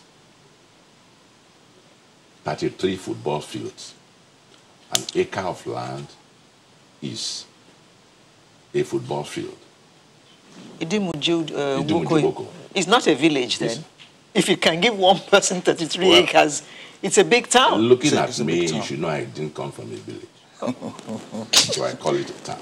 I apologize. Thanks so much. so 33 acres of land, one acre of land is six and a half plots. 33 acres of land is 220 plots. The town gave it to him to develop at no cost. And he has been developing. Along the line, he requested for 92 hectares of land. 92 hectares of land. One hectare of land is two and a half acres. I hope you get me. And that's about 250 football field. And that is equivalent to 1,000, almost 1,500 plots. That is the bareness of it. And the community doesn't have it. It, it, it belongs to people. And unfortunately, it's either I have it or nothing happens. So we've been under a lot of threat. We've been under a lot of intimidation. That people like us are not locked up is by God's grace. As at two days ago on the 6th, some of our men, innocent men, are in Kuje prison, one year anniversary for terrorism and murder. They know nothing about. In Agua prison, two of our men since 2017 are in Agua prison, June, for terrorism and murder. And if you know terrorism and murder is a capital offense. Mm-hmm. it's a capital offense that involves the government. And that is where we are. We are being intimidated almost on a daily basis. Our Obi, who is a graduate, almost 70 year old, is perpetually in hiding. Ah. Perpetually in hiding as I'm talking to you. An entire Obi yes. is in hiding. Yes. Perpetually in hiding. He cannot move. And we now felt it's gotten to a stage where, as responsible citizens of this country, let other people hear us. Okay. But by the way, the person being spoken about is Honorable Ned Nwoko. And the traditional ruler in question is Obi Chukwunonso Nwoko. Are they relations? Yes. Yes. And the man there is Chuks Nwoko. Well, we have Chuks Nwoko here. Is Ned Nwoko your relation? Oh, by the way, Ned Nwoko, you do have a, you, you will have your time to come and respond to all these allegations whenever you choose. Is it's he a, a relation a, of yours? It's a relation of mine. Um, and you are here to complain about him? Yes. Did you try settling amongst, is a family matter? Oh, absolutely. Because, um, thank you for saying that. Family is everything.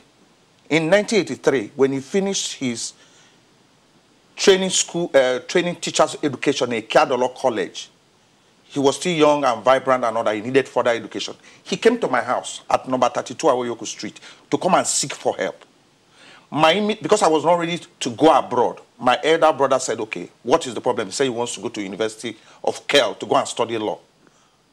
What came out of the mouth of my elder brother is that, oh, that would be nice. We had only one prominent lawyer at the time, Lawyer Mulu, a prominent lawyer. Judge Mulu later became a judge and all that. That would be nice to have you go study law after you chooks will come. Before that time, Uzo Jebose had gone. This young man really wasn't educated. He didn't have opportunity. Poverty did not allow him to go to university. But he saw potentials in NED. So he sent him abroad in 1983. His, his father couldn't send him. His mother couldn't send him. This man we're a large family because family meant everything. Family is everything. So he went. He's related to me. We lived together in one room. In, uh, I was in the same room with him at number 32 Awoyoko Street in Palmgrove here. So he's related to me. His mother is a princess of the Nwokos. His mother, Ned's mother, Honorable Ned Nwoko's mother, is a princess from the royal family. So we are related. So he went to London and came back and became a billionaire and asked for land. They gave him land, 33 hectares of land. Acres. And the premise was that he was going to build a dairy farm. He was going to do a fishing uh, farm, chicken, piggery, and all this. For the so benefit of the community. For the, for the benefit, so they gave him massive, I mean, he, he's a builder, so he can, he described what they gave to him. Five years ago, he, with, and I, he, he, he has not been able to use, use up that 33 hectares. He didn't build the, the dairy farm. He didn't build the fish farm. Nothing. He just erected this massive, you know, house there where people come to visit him.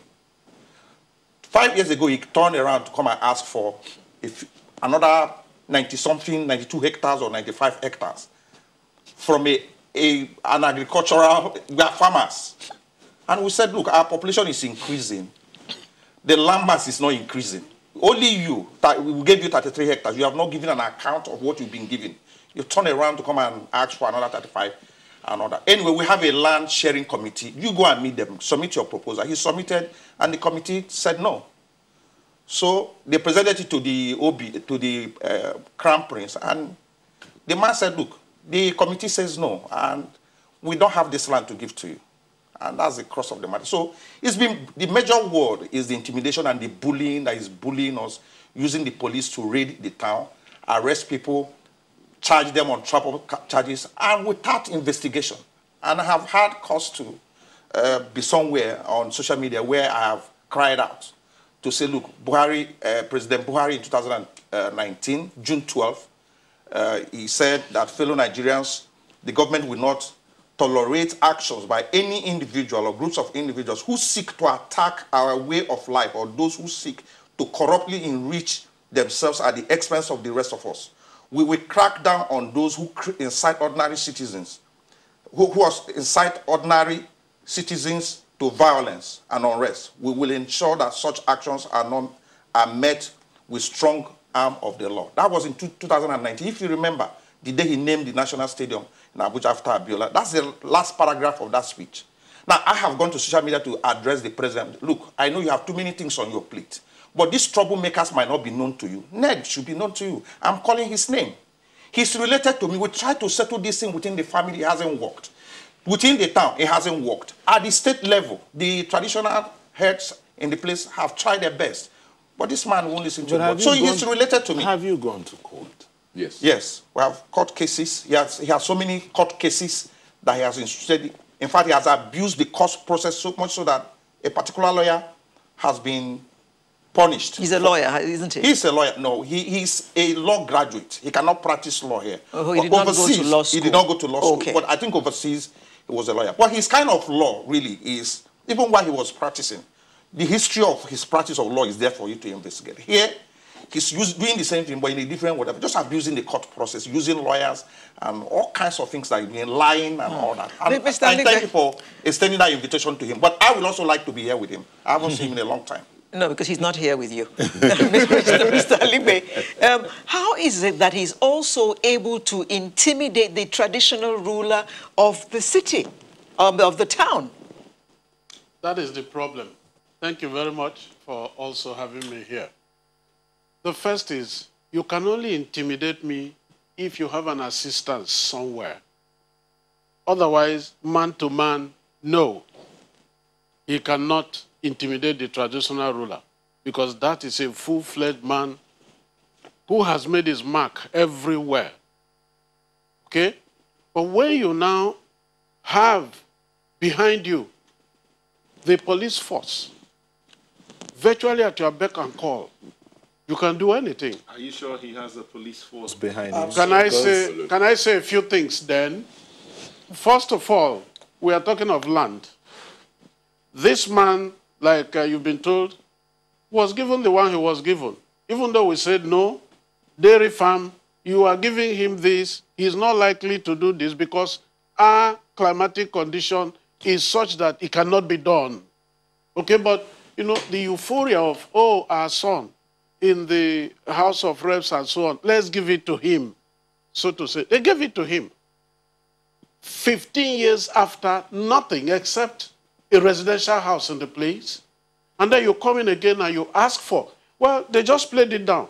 He asked for 90 hectares to do a golf course in the village. Then he turned around and put in another letter asking for two kilometers by one kilometer size of land because he says he wants to develop a university. He's asking for all of them free of charge. He put in this letter on the, the second letter came in on the 23rd of March. By 28th of March 2015, I am saying five days after, he pulled in bulldozers supported or protected by people in police uniform and police paraphernalia. What I mean is police van, police gun, and then in uniform. Maybe they're not policemen, but for us, we can't tell the difference. You hear, you see what I'm talking about? They supervise the bulldozing. which continues up till tomorrow. The only young man who was bold enough to go in there into his farm to say, What are you people doing? It was the same police that arrested him, took him, and charged him for what? Attempted murder. A golf course. Yes. Surely it will bring fame to your community Yes. because golf players are supposed to be big people and they'll be coming to play with him and spending money in your in your town It is not so. Can I say, can I say this? I don't want to look at to help the economy No, of I the don't town want to move look at on. yes. I don't want to look at yes and no of a golf course in Idumuje Ugboko. There is one in Asaba. We want to know how much is doing. There's There's, one even one in Ogara. We want to know how much is doing. Look, you are talking golf players are people who go to where there is peace, who go to where there is affluence. There is no peace. Delta, as a whole, you know that. Even if there was, they don't think there is. You have nothing to keep any golfer. The first 200 golfers in this world are all whites. Even the black one that is inside there says he's a white. You know that. But let's leave that alone. Even if you were going to do that, are you going to do that on the grave of those who own land, who earn their living from those pieces of land? Because you want the town to say it has a golf course, therefore everybody else will die? I mean, it does not make sense. It does not make sense. And I kept asking him, where are you going to get this land? Because we don't have it. That's it. Talking about how is he using the police, I told you the first thing. The second is that they talked about cases. Cases. How can the police come in because somebody has sent in a petition, listed names, and when they list, even if it's 30 names, they put below it others, so that from time to time they can accommodate more names, and they just raid the place and arrest them without investigation, without anything. And we're asking how is he using the police? The police is surely behind him. Each time we have a problem and you go to report to the police, somebody will say, let's wait. The young ones, the youth, when they go there to report, this is happening in the community, they check. Ah, this man's name is on the list. You who have come to, be, to report will be remanded for a different petition. That is what he's doing with the police. And a lot more. And that is why we can say that even a natural ruler is in hiding because the police is after him everywhere. Okay, um, we'll, we'll go on a quick break. We'll come back to continue this conversation. Please stay with us.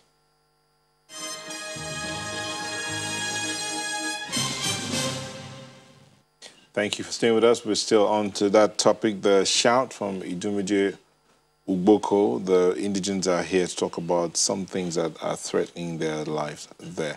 Um, Mr. Ali, but you were talking about some things. Let's look at the process of um, issuing the land um, as engineer Eniobi, Enoibo uh, mentioned earlier. He talked about 33 acres of land given, and now he's asking for 92.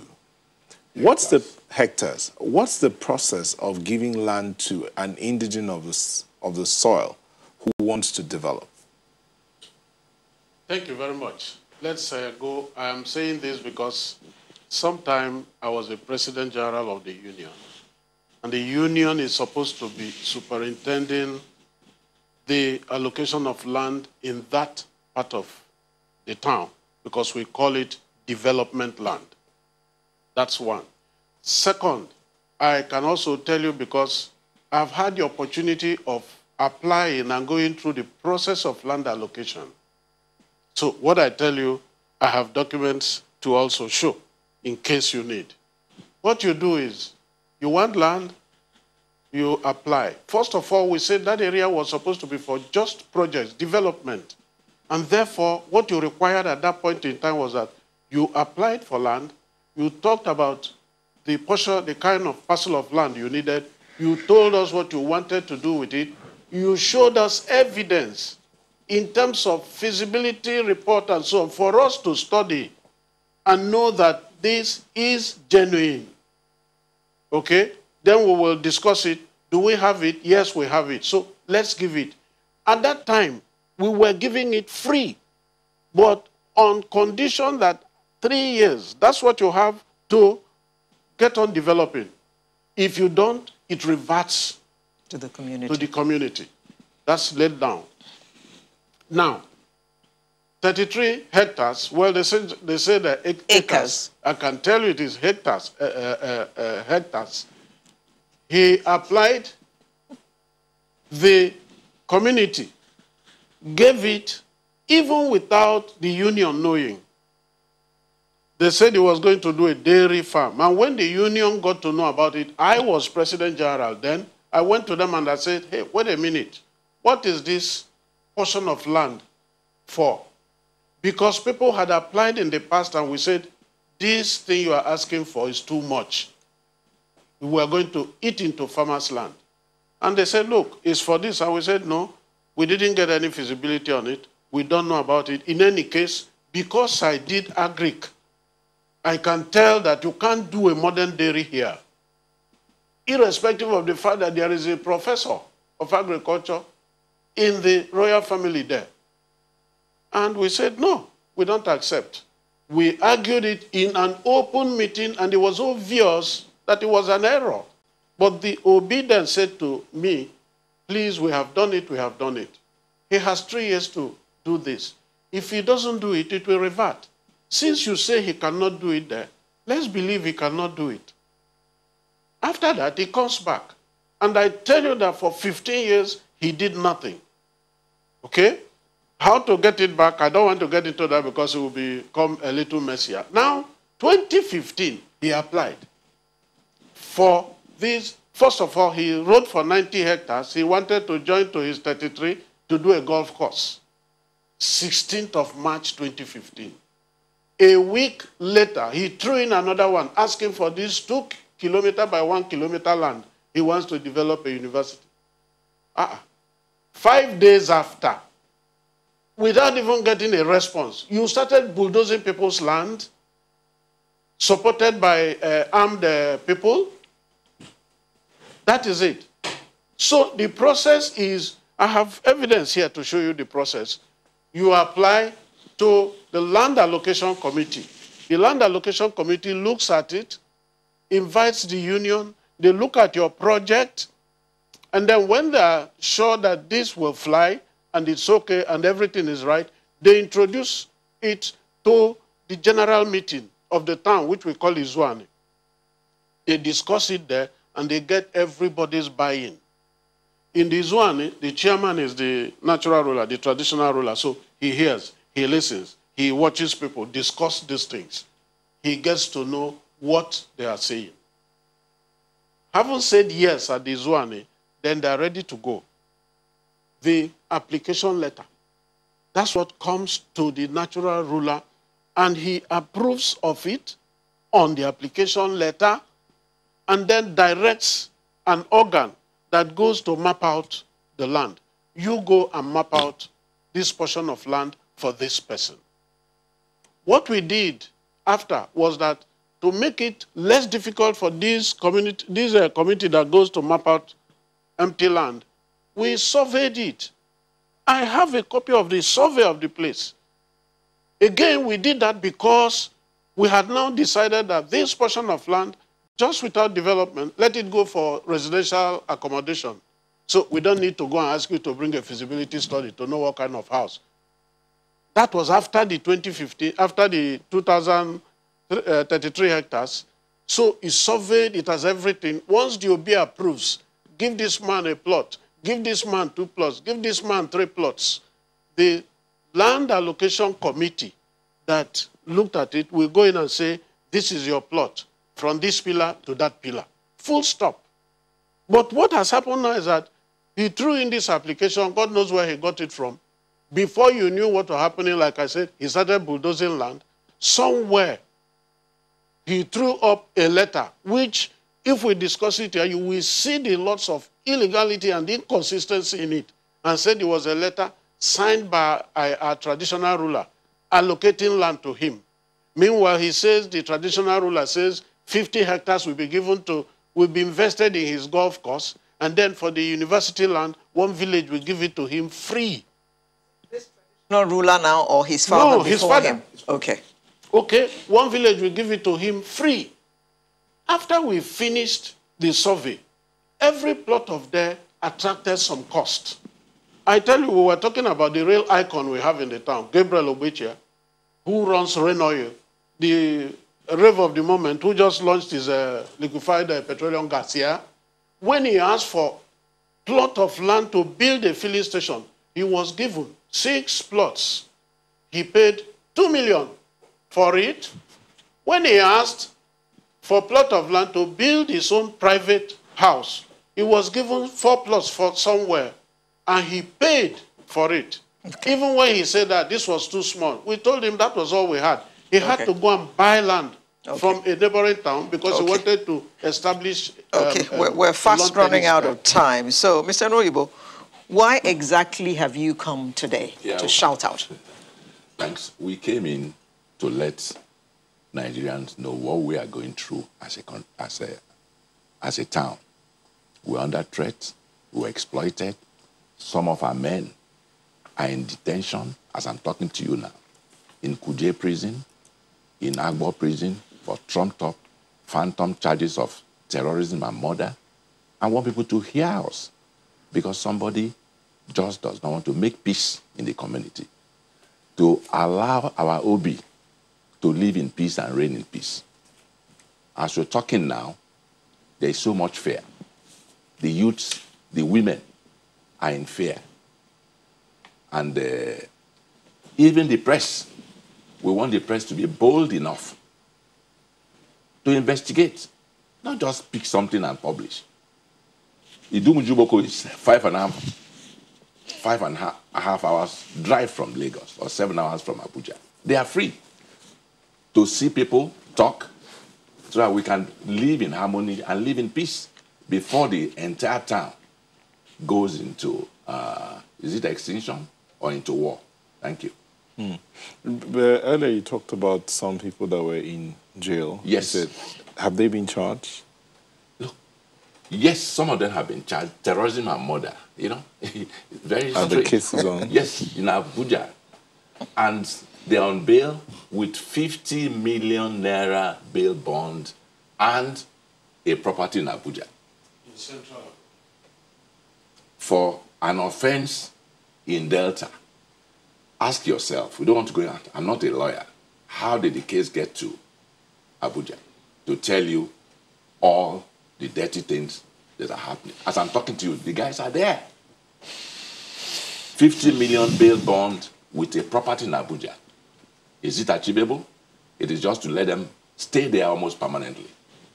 And since 2017, Jan, uh, January 17th. uh, June, another two innocent human beings are in Agbo prison. In fact, it's, it, it's sad. When you say terrorism murder, you are like you are as, as if you are giving them a death warrant. Do you get it? It's not a bailable offense. Is the state governor aware of all this, Chuks? Yes. You say he's, yeah, I, I want to assume that he's aware of it. Um, I, I, I believe so because we have had occasions, if not more than once, the governor has been to the place to launch a Gabriel Ogbechie's uh, project. And, um, you know, the governor and the current Obi, they were schoolmates in Edo College those days and all that. And the So uh, the Obi should, should be able to cry out to the governor. But we're crying out to you and the president and the governor and everybody. The truth of the matter is that the system has been compromised by this billionaire, Honorable Ned.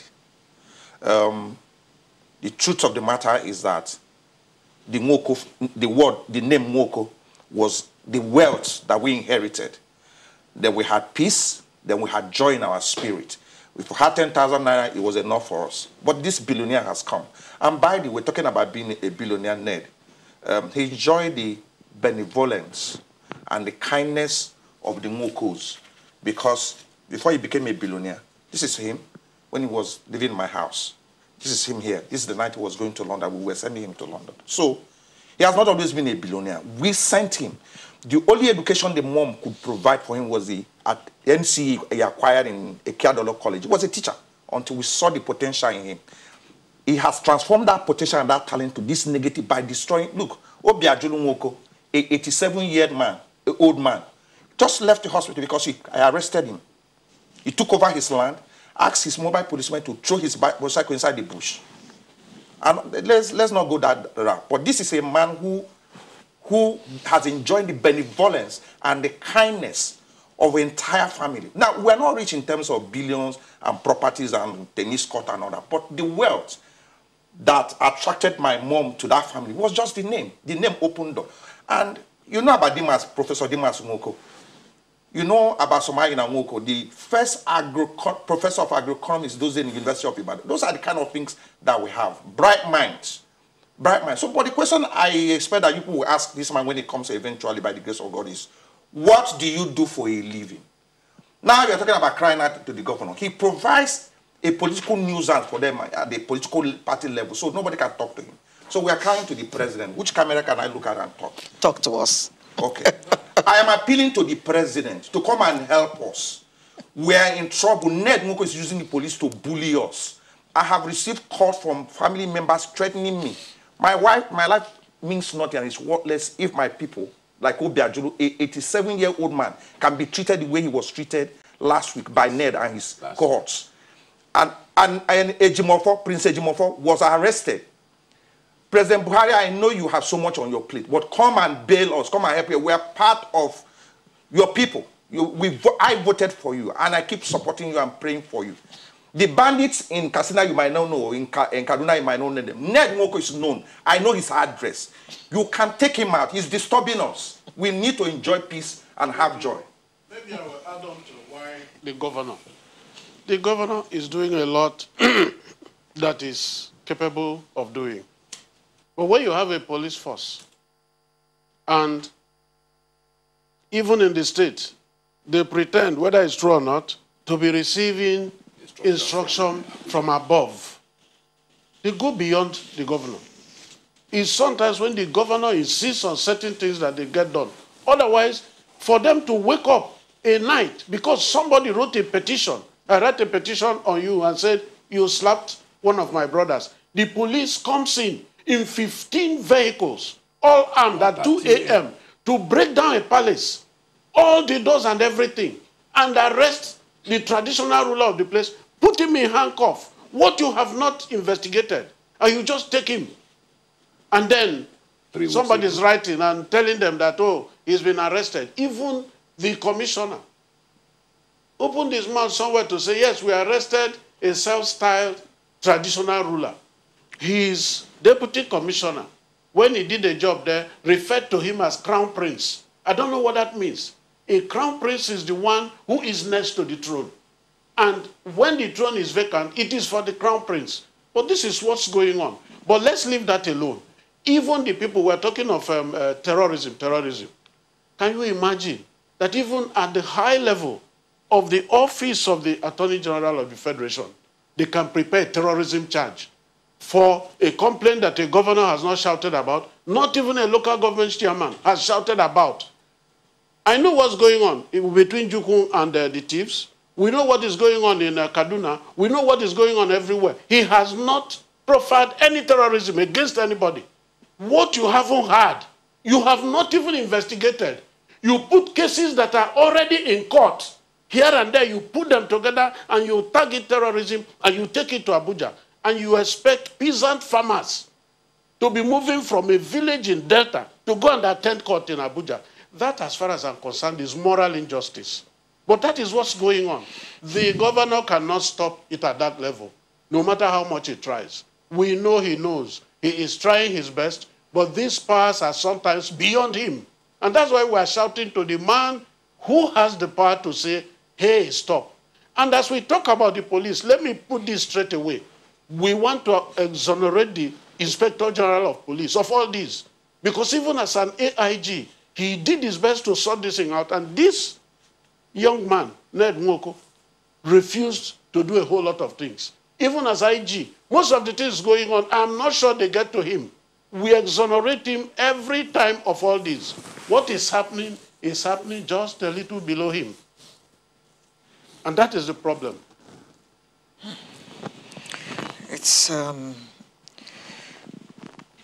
just unthinkable that one man can do all this. Um, Cannot be in Nigeria. Are you sure you all don't have a grouse against this man? Definitely no.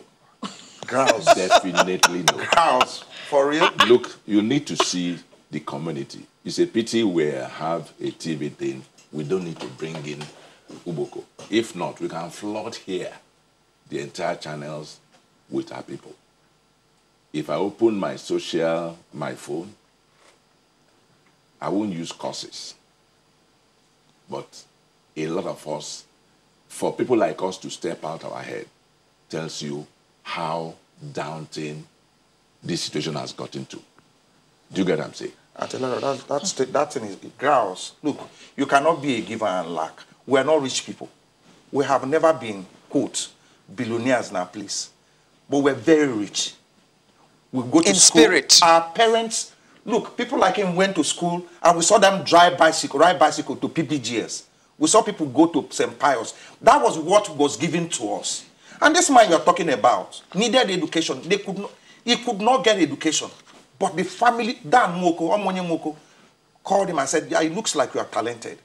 What do you want to do? He said he wants to go and study law. And the man, I was in that meeting.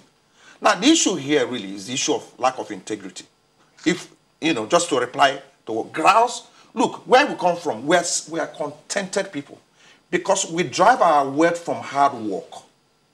Then we drive joy from relating and eating together. That's why that community has existed before this man. Before this man came into became a billionaire, we have lived together. Do you understand what I'm saying? Hmm. We lived together in harmony, and it's the same palace that, that has been vandalized. When we have communal issues, we go to the place to settle it. We have no poli- we didn't have police station. The, maybe there was police station in our headquarters, uh, local government headquarters, but within that community, it is now modern day Nigeria that we now have police police posts near us. There. But we never used to have a police post. If I had issues with you, we're invited to the family meeting. If it was beyond the family, whatever, Yes. we went to the palace. We lived in harmony. We went to each other's farm. We built houses for each other. We will, you know, go dig up red, whatever, match it, and we build for you, you build for me. We were, we're communal people. We lived in peace until the emergence of this greed and this self-centeredness and this pattern that has followed this man, pattern of bullying people to take their, their, their whatever. That's what we're dealing with. It's not grouch. Okay. Come on. The the things that he said he wants to build. Talked about the university. Yeah. Talked about the golf course. Yeah. These are things that will benefit your community. The motivation you sorry, don't know about sorry. it. We, we are not against development at all. We appreciate, we welcome it. Go through due process. Exhaust the 33 acres you have. That is our ground. Exhaust it. Tell us And use what- it for the purpose Tell you us said. what else you need. I mean, don't get carried away. I'm an educated person. I'm an engineer. Exhaust the 33 acres you have. Tell us what you need extra to make up what you want. There are due processes, and he had been eloquent enough to tell you processes of. We are talking of process. We're not talking of acquisition. Nobody's against development. It's going to be a beauty. I have a home there. A lot of all of us here have homes there. I mean, maybe my house will be the vice chancellor's place. Beautiful. But if you want it, why not go through a process? Must you take over a whole community, a whole town, just because you want a golf course or you want uh, a university? No. We are not against development. Please get that right. But we want this process to be somebody that you and I, we're going to live. Our children, our grandchildren, our great grandchildren are going to be there. Let there be something, a legacy, a beauty, a system, a standard that is left for them. I want to end up somewhere by assuring you of this. I'm happy you have invited him, he will come. He will give you an impression that some group called Izwani gave him land. He will brandish some letter. Our natural ruler has never written to anybody, I give you this. He signs, the process allocates land to you. How he manufactured that letter, which has a lot of inconsistencies, that is his own. But even that same natural ruler wrote three letters disowning that thing he was carrying around. One privately to him, which he signed for, before he now started telling the people, since he didn't want to adhere to what he said, look, oh, I didn't give this man any land. The three letters are there, and it is because of it that he invited the police to start harassing the now natural ruler, who was a crown prince then. That is his Where, where is he now? Where is the Obi now? We, we, we, because he's in hiding, we cannot tell where he is. Oh, okay, he's in hiding right now. This is the truth of the matter. Hmm. The uh-huh. palace does not have the Obi inside it. I mean, they came 1.32 a.m., raided it. You need The desecration. this it has broke never into happened. the this in tear gassed the whole place. Tear gassed the whole place. Then a week later, It's not a they week. came back. The they next said they were day- the looking- next day, on a they Sunday. dug- no, On a the Sunday. They said they were looking for cops. They dug five pits in the compound looking for burial. The desecration of that um, that palace it has Nobody never happened anywhere in the world in Yoruba land or Edenuga, all these rich people. Have you heard that they went to their paternal grandfather's house palace to go and dig up whatever? They break into the palace. That's They- what Ned is done They in a, dug in a, all a over. They didn't, see, they didn't see any single Corpse. Nobody. No. Meanwhile, we have pictures, broken down windows, doors, tear gas it. I'm not telling you story. I was in Asaba, handcuffed him. I'm not telling The you what OB, somebody told yes. me. And the, the I'm dead not telling body, you what somebody the dead told body me. they came to look for Handcuffed on, him. on the 19th of July Sorry, it was my driver It's part that of the bought the slippers charge. for him to rubber slippers for him to wear. It it was that bad. I had to ask my driver. I had to ask the police. This is Aobi. Aobi is almost So we've 70. been we've been assaulted. graduated from Nsuka. I He had was an wearing bare, ca- career bare in Lagos here. My driver had to go and buy rubber slippers for him to wear with handcuffs at Asaba. In fact, that day, if I told you I wept, I mean, it's an understatement. We were so, we couldn't believe it. But thank God he's a gentleman. He absorbed everything. You know how they move people? There was no dress. He just had his trousers and a t-shirt. Like, like a common criminal. Yes. Yes. Handcuffed. And I told the, you, and the- I told the, the, policeman. the dead bodies "Didn't they came looking for on the 19th of July. That is the charge. The people who have been in incarceration since 2017. That is the charge they are facing. Somebody was killed. Who is this person? Where is it? Uh, where is the body?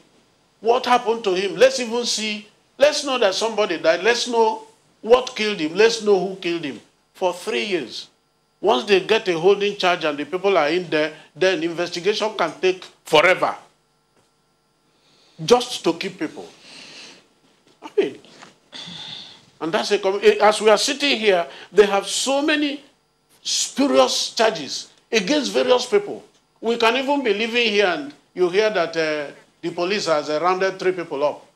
And then they're taking them to Abuja because there's a petition saying that whatever. And nobody's asking question. You report, nothing happens.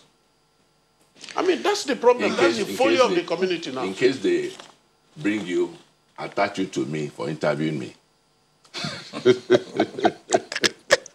So That's the law that we pay. we are also at risk. So I'm just warning That's you. the law we- I'm just warning because one That's day the version of law that we that Omonye Omonye paid for to send him to go and study law so that the community will be blessed. It would be nice to have it. That's the version of law that he went to study from So University. Sam Wasborn says, so sad watching this interview. The police is supposed to be on the side of the law. The collective will of the community should be greater than the will of one individual. Um, well, future governor says, where is the evidence or videos to back the demolitions? I am sure They're that. I am sure they have them. In fact, they say they're on the internet. Please, who is terrorizing that community? this is from Adams Dean. Who is terrorizing? Well, they've been shouting his name all day. Honorable Ned Nwoko. using proxies. Well then. Mm. Well, we just wish you all the My, best my younger sister in called this me the other time in case if I get arrested when I leave here. It's okay. My younger sister actually called me. She's been intimidated, but she's also on my matter that he's not going to go and beg Ned to release me by the time he lays his hand on me. So, but, but I'm here. I'll step out soon. So whatever he wants to do with me, no wahala. But we've been nice to him. You know. Well, We'll hope to, to get Honorable Ned to come and answer. Exactly. Come and respond to all this that has been said against him. We, we, we will expect him to show up here and uh, tell us his own side of the story. And we wish the community of uh, Idumuje Ugboko all the best in sorting out this thorn in their flesh, this matter which they have brought to national um, television. Uh, I'd like to thank engineer Igwe Enoibo, uh, Mr. Uche Aligbe, and Mr. Chuks Nwoko, who happens to be a relation of the said Honorable Ned Nwoko. all indigents of Idumuje Ugboko, thank you all Thank very having much us. to Thank you for the bring this to the consciousness of Nigerians. Thanks so much. Sunrise will be right back with the home stretch in just a moment. Please stay with us.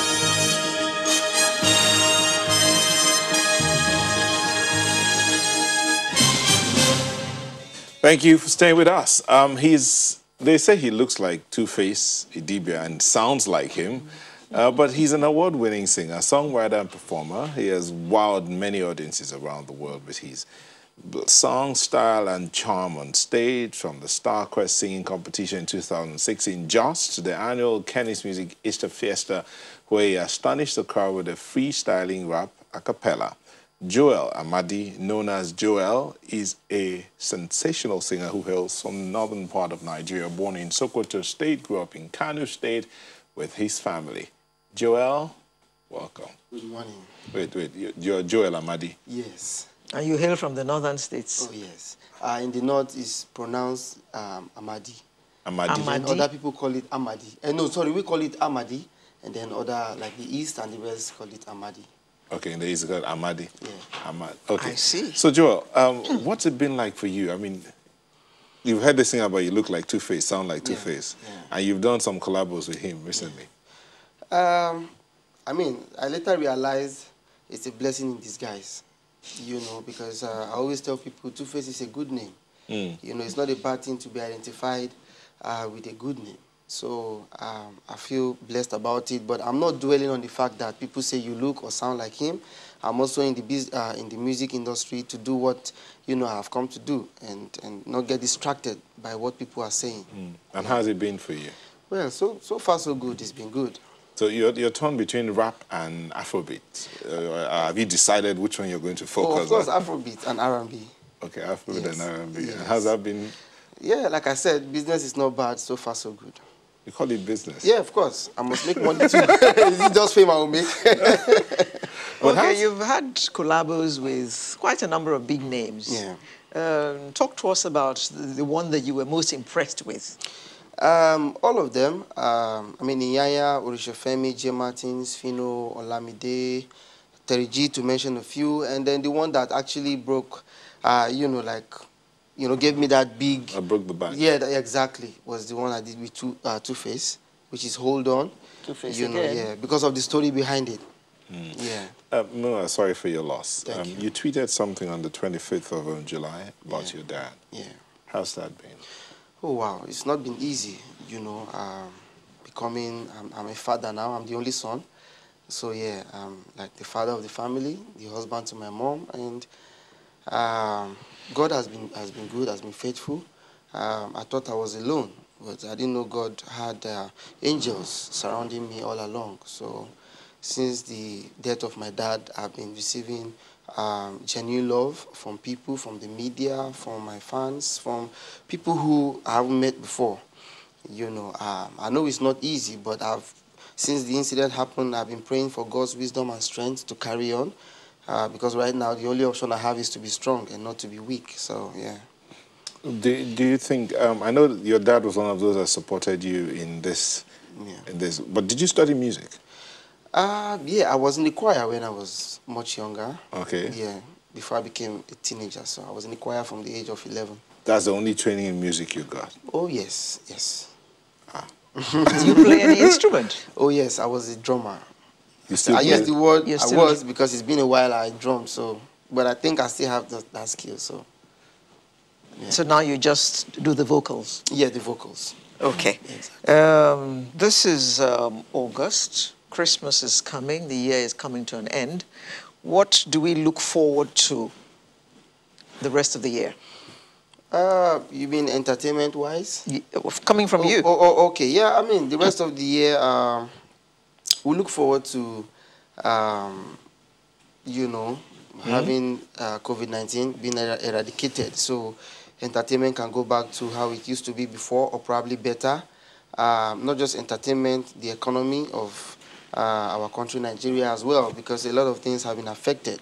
So we, we just pray and hope that things, uh, coronavirus would leave us alone and let's get back to normal and, you know, start doing our doubles. coronavirus. Well, as some will say, coronavirus has come to stay for a while, so get used to it. But just before we go, um, if you had a word, what would you say to Nigerians out there, your fans and all?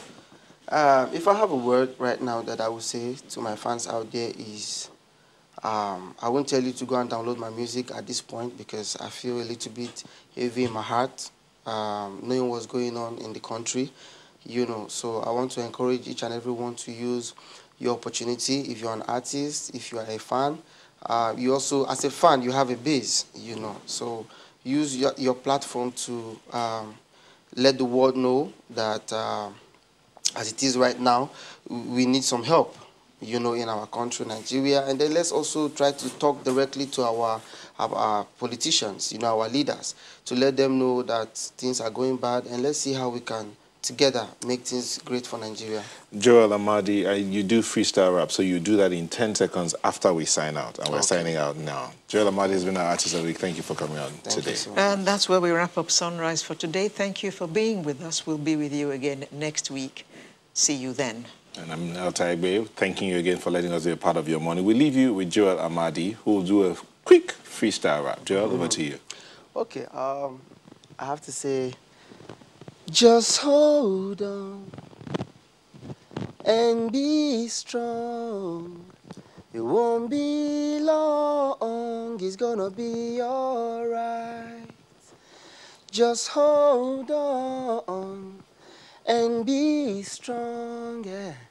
It won't be long, it's gonna be alright. Do good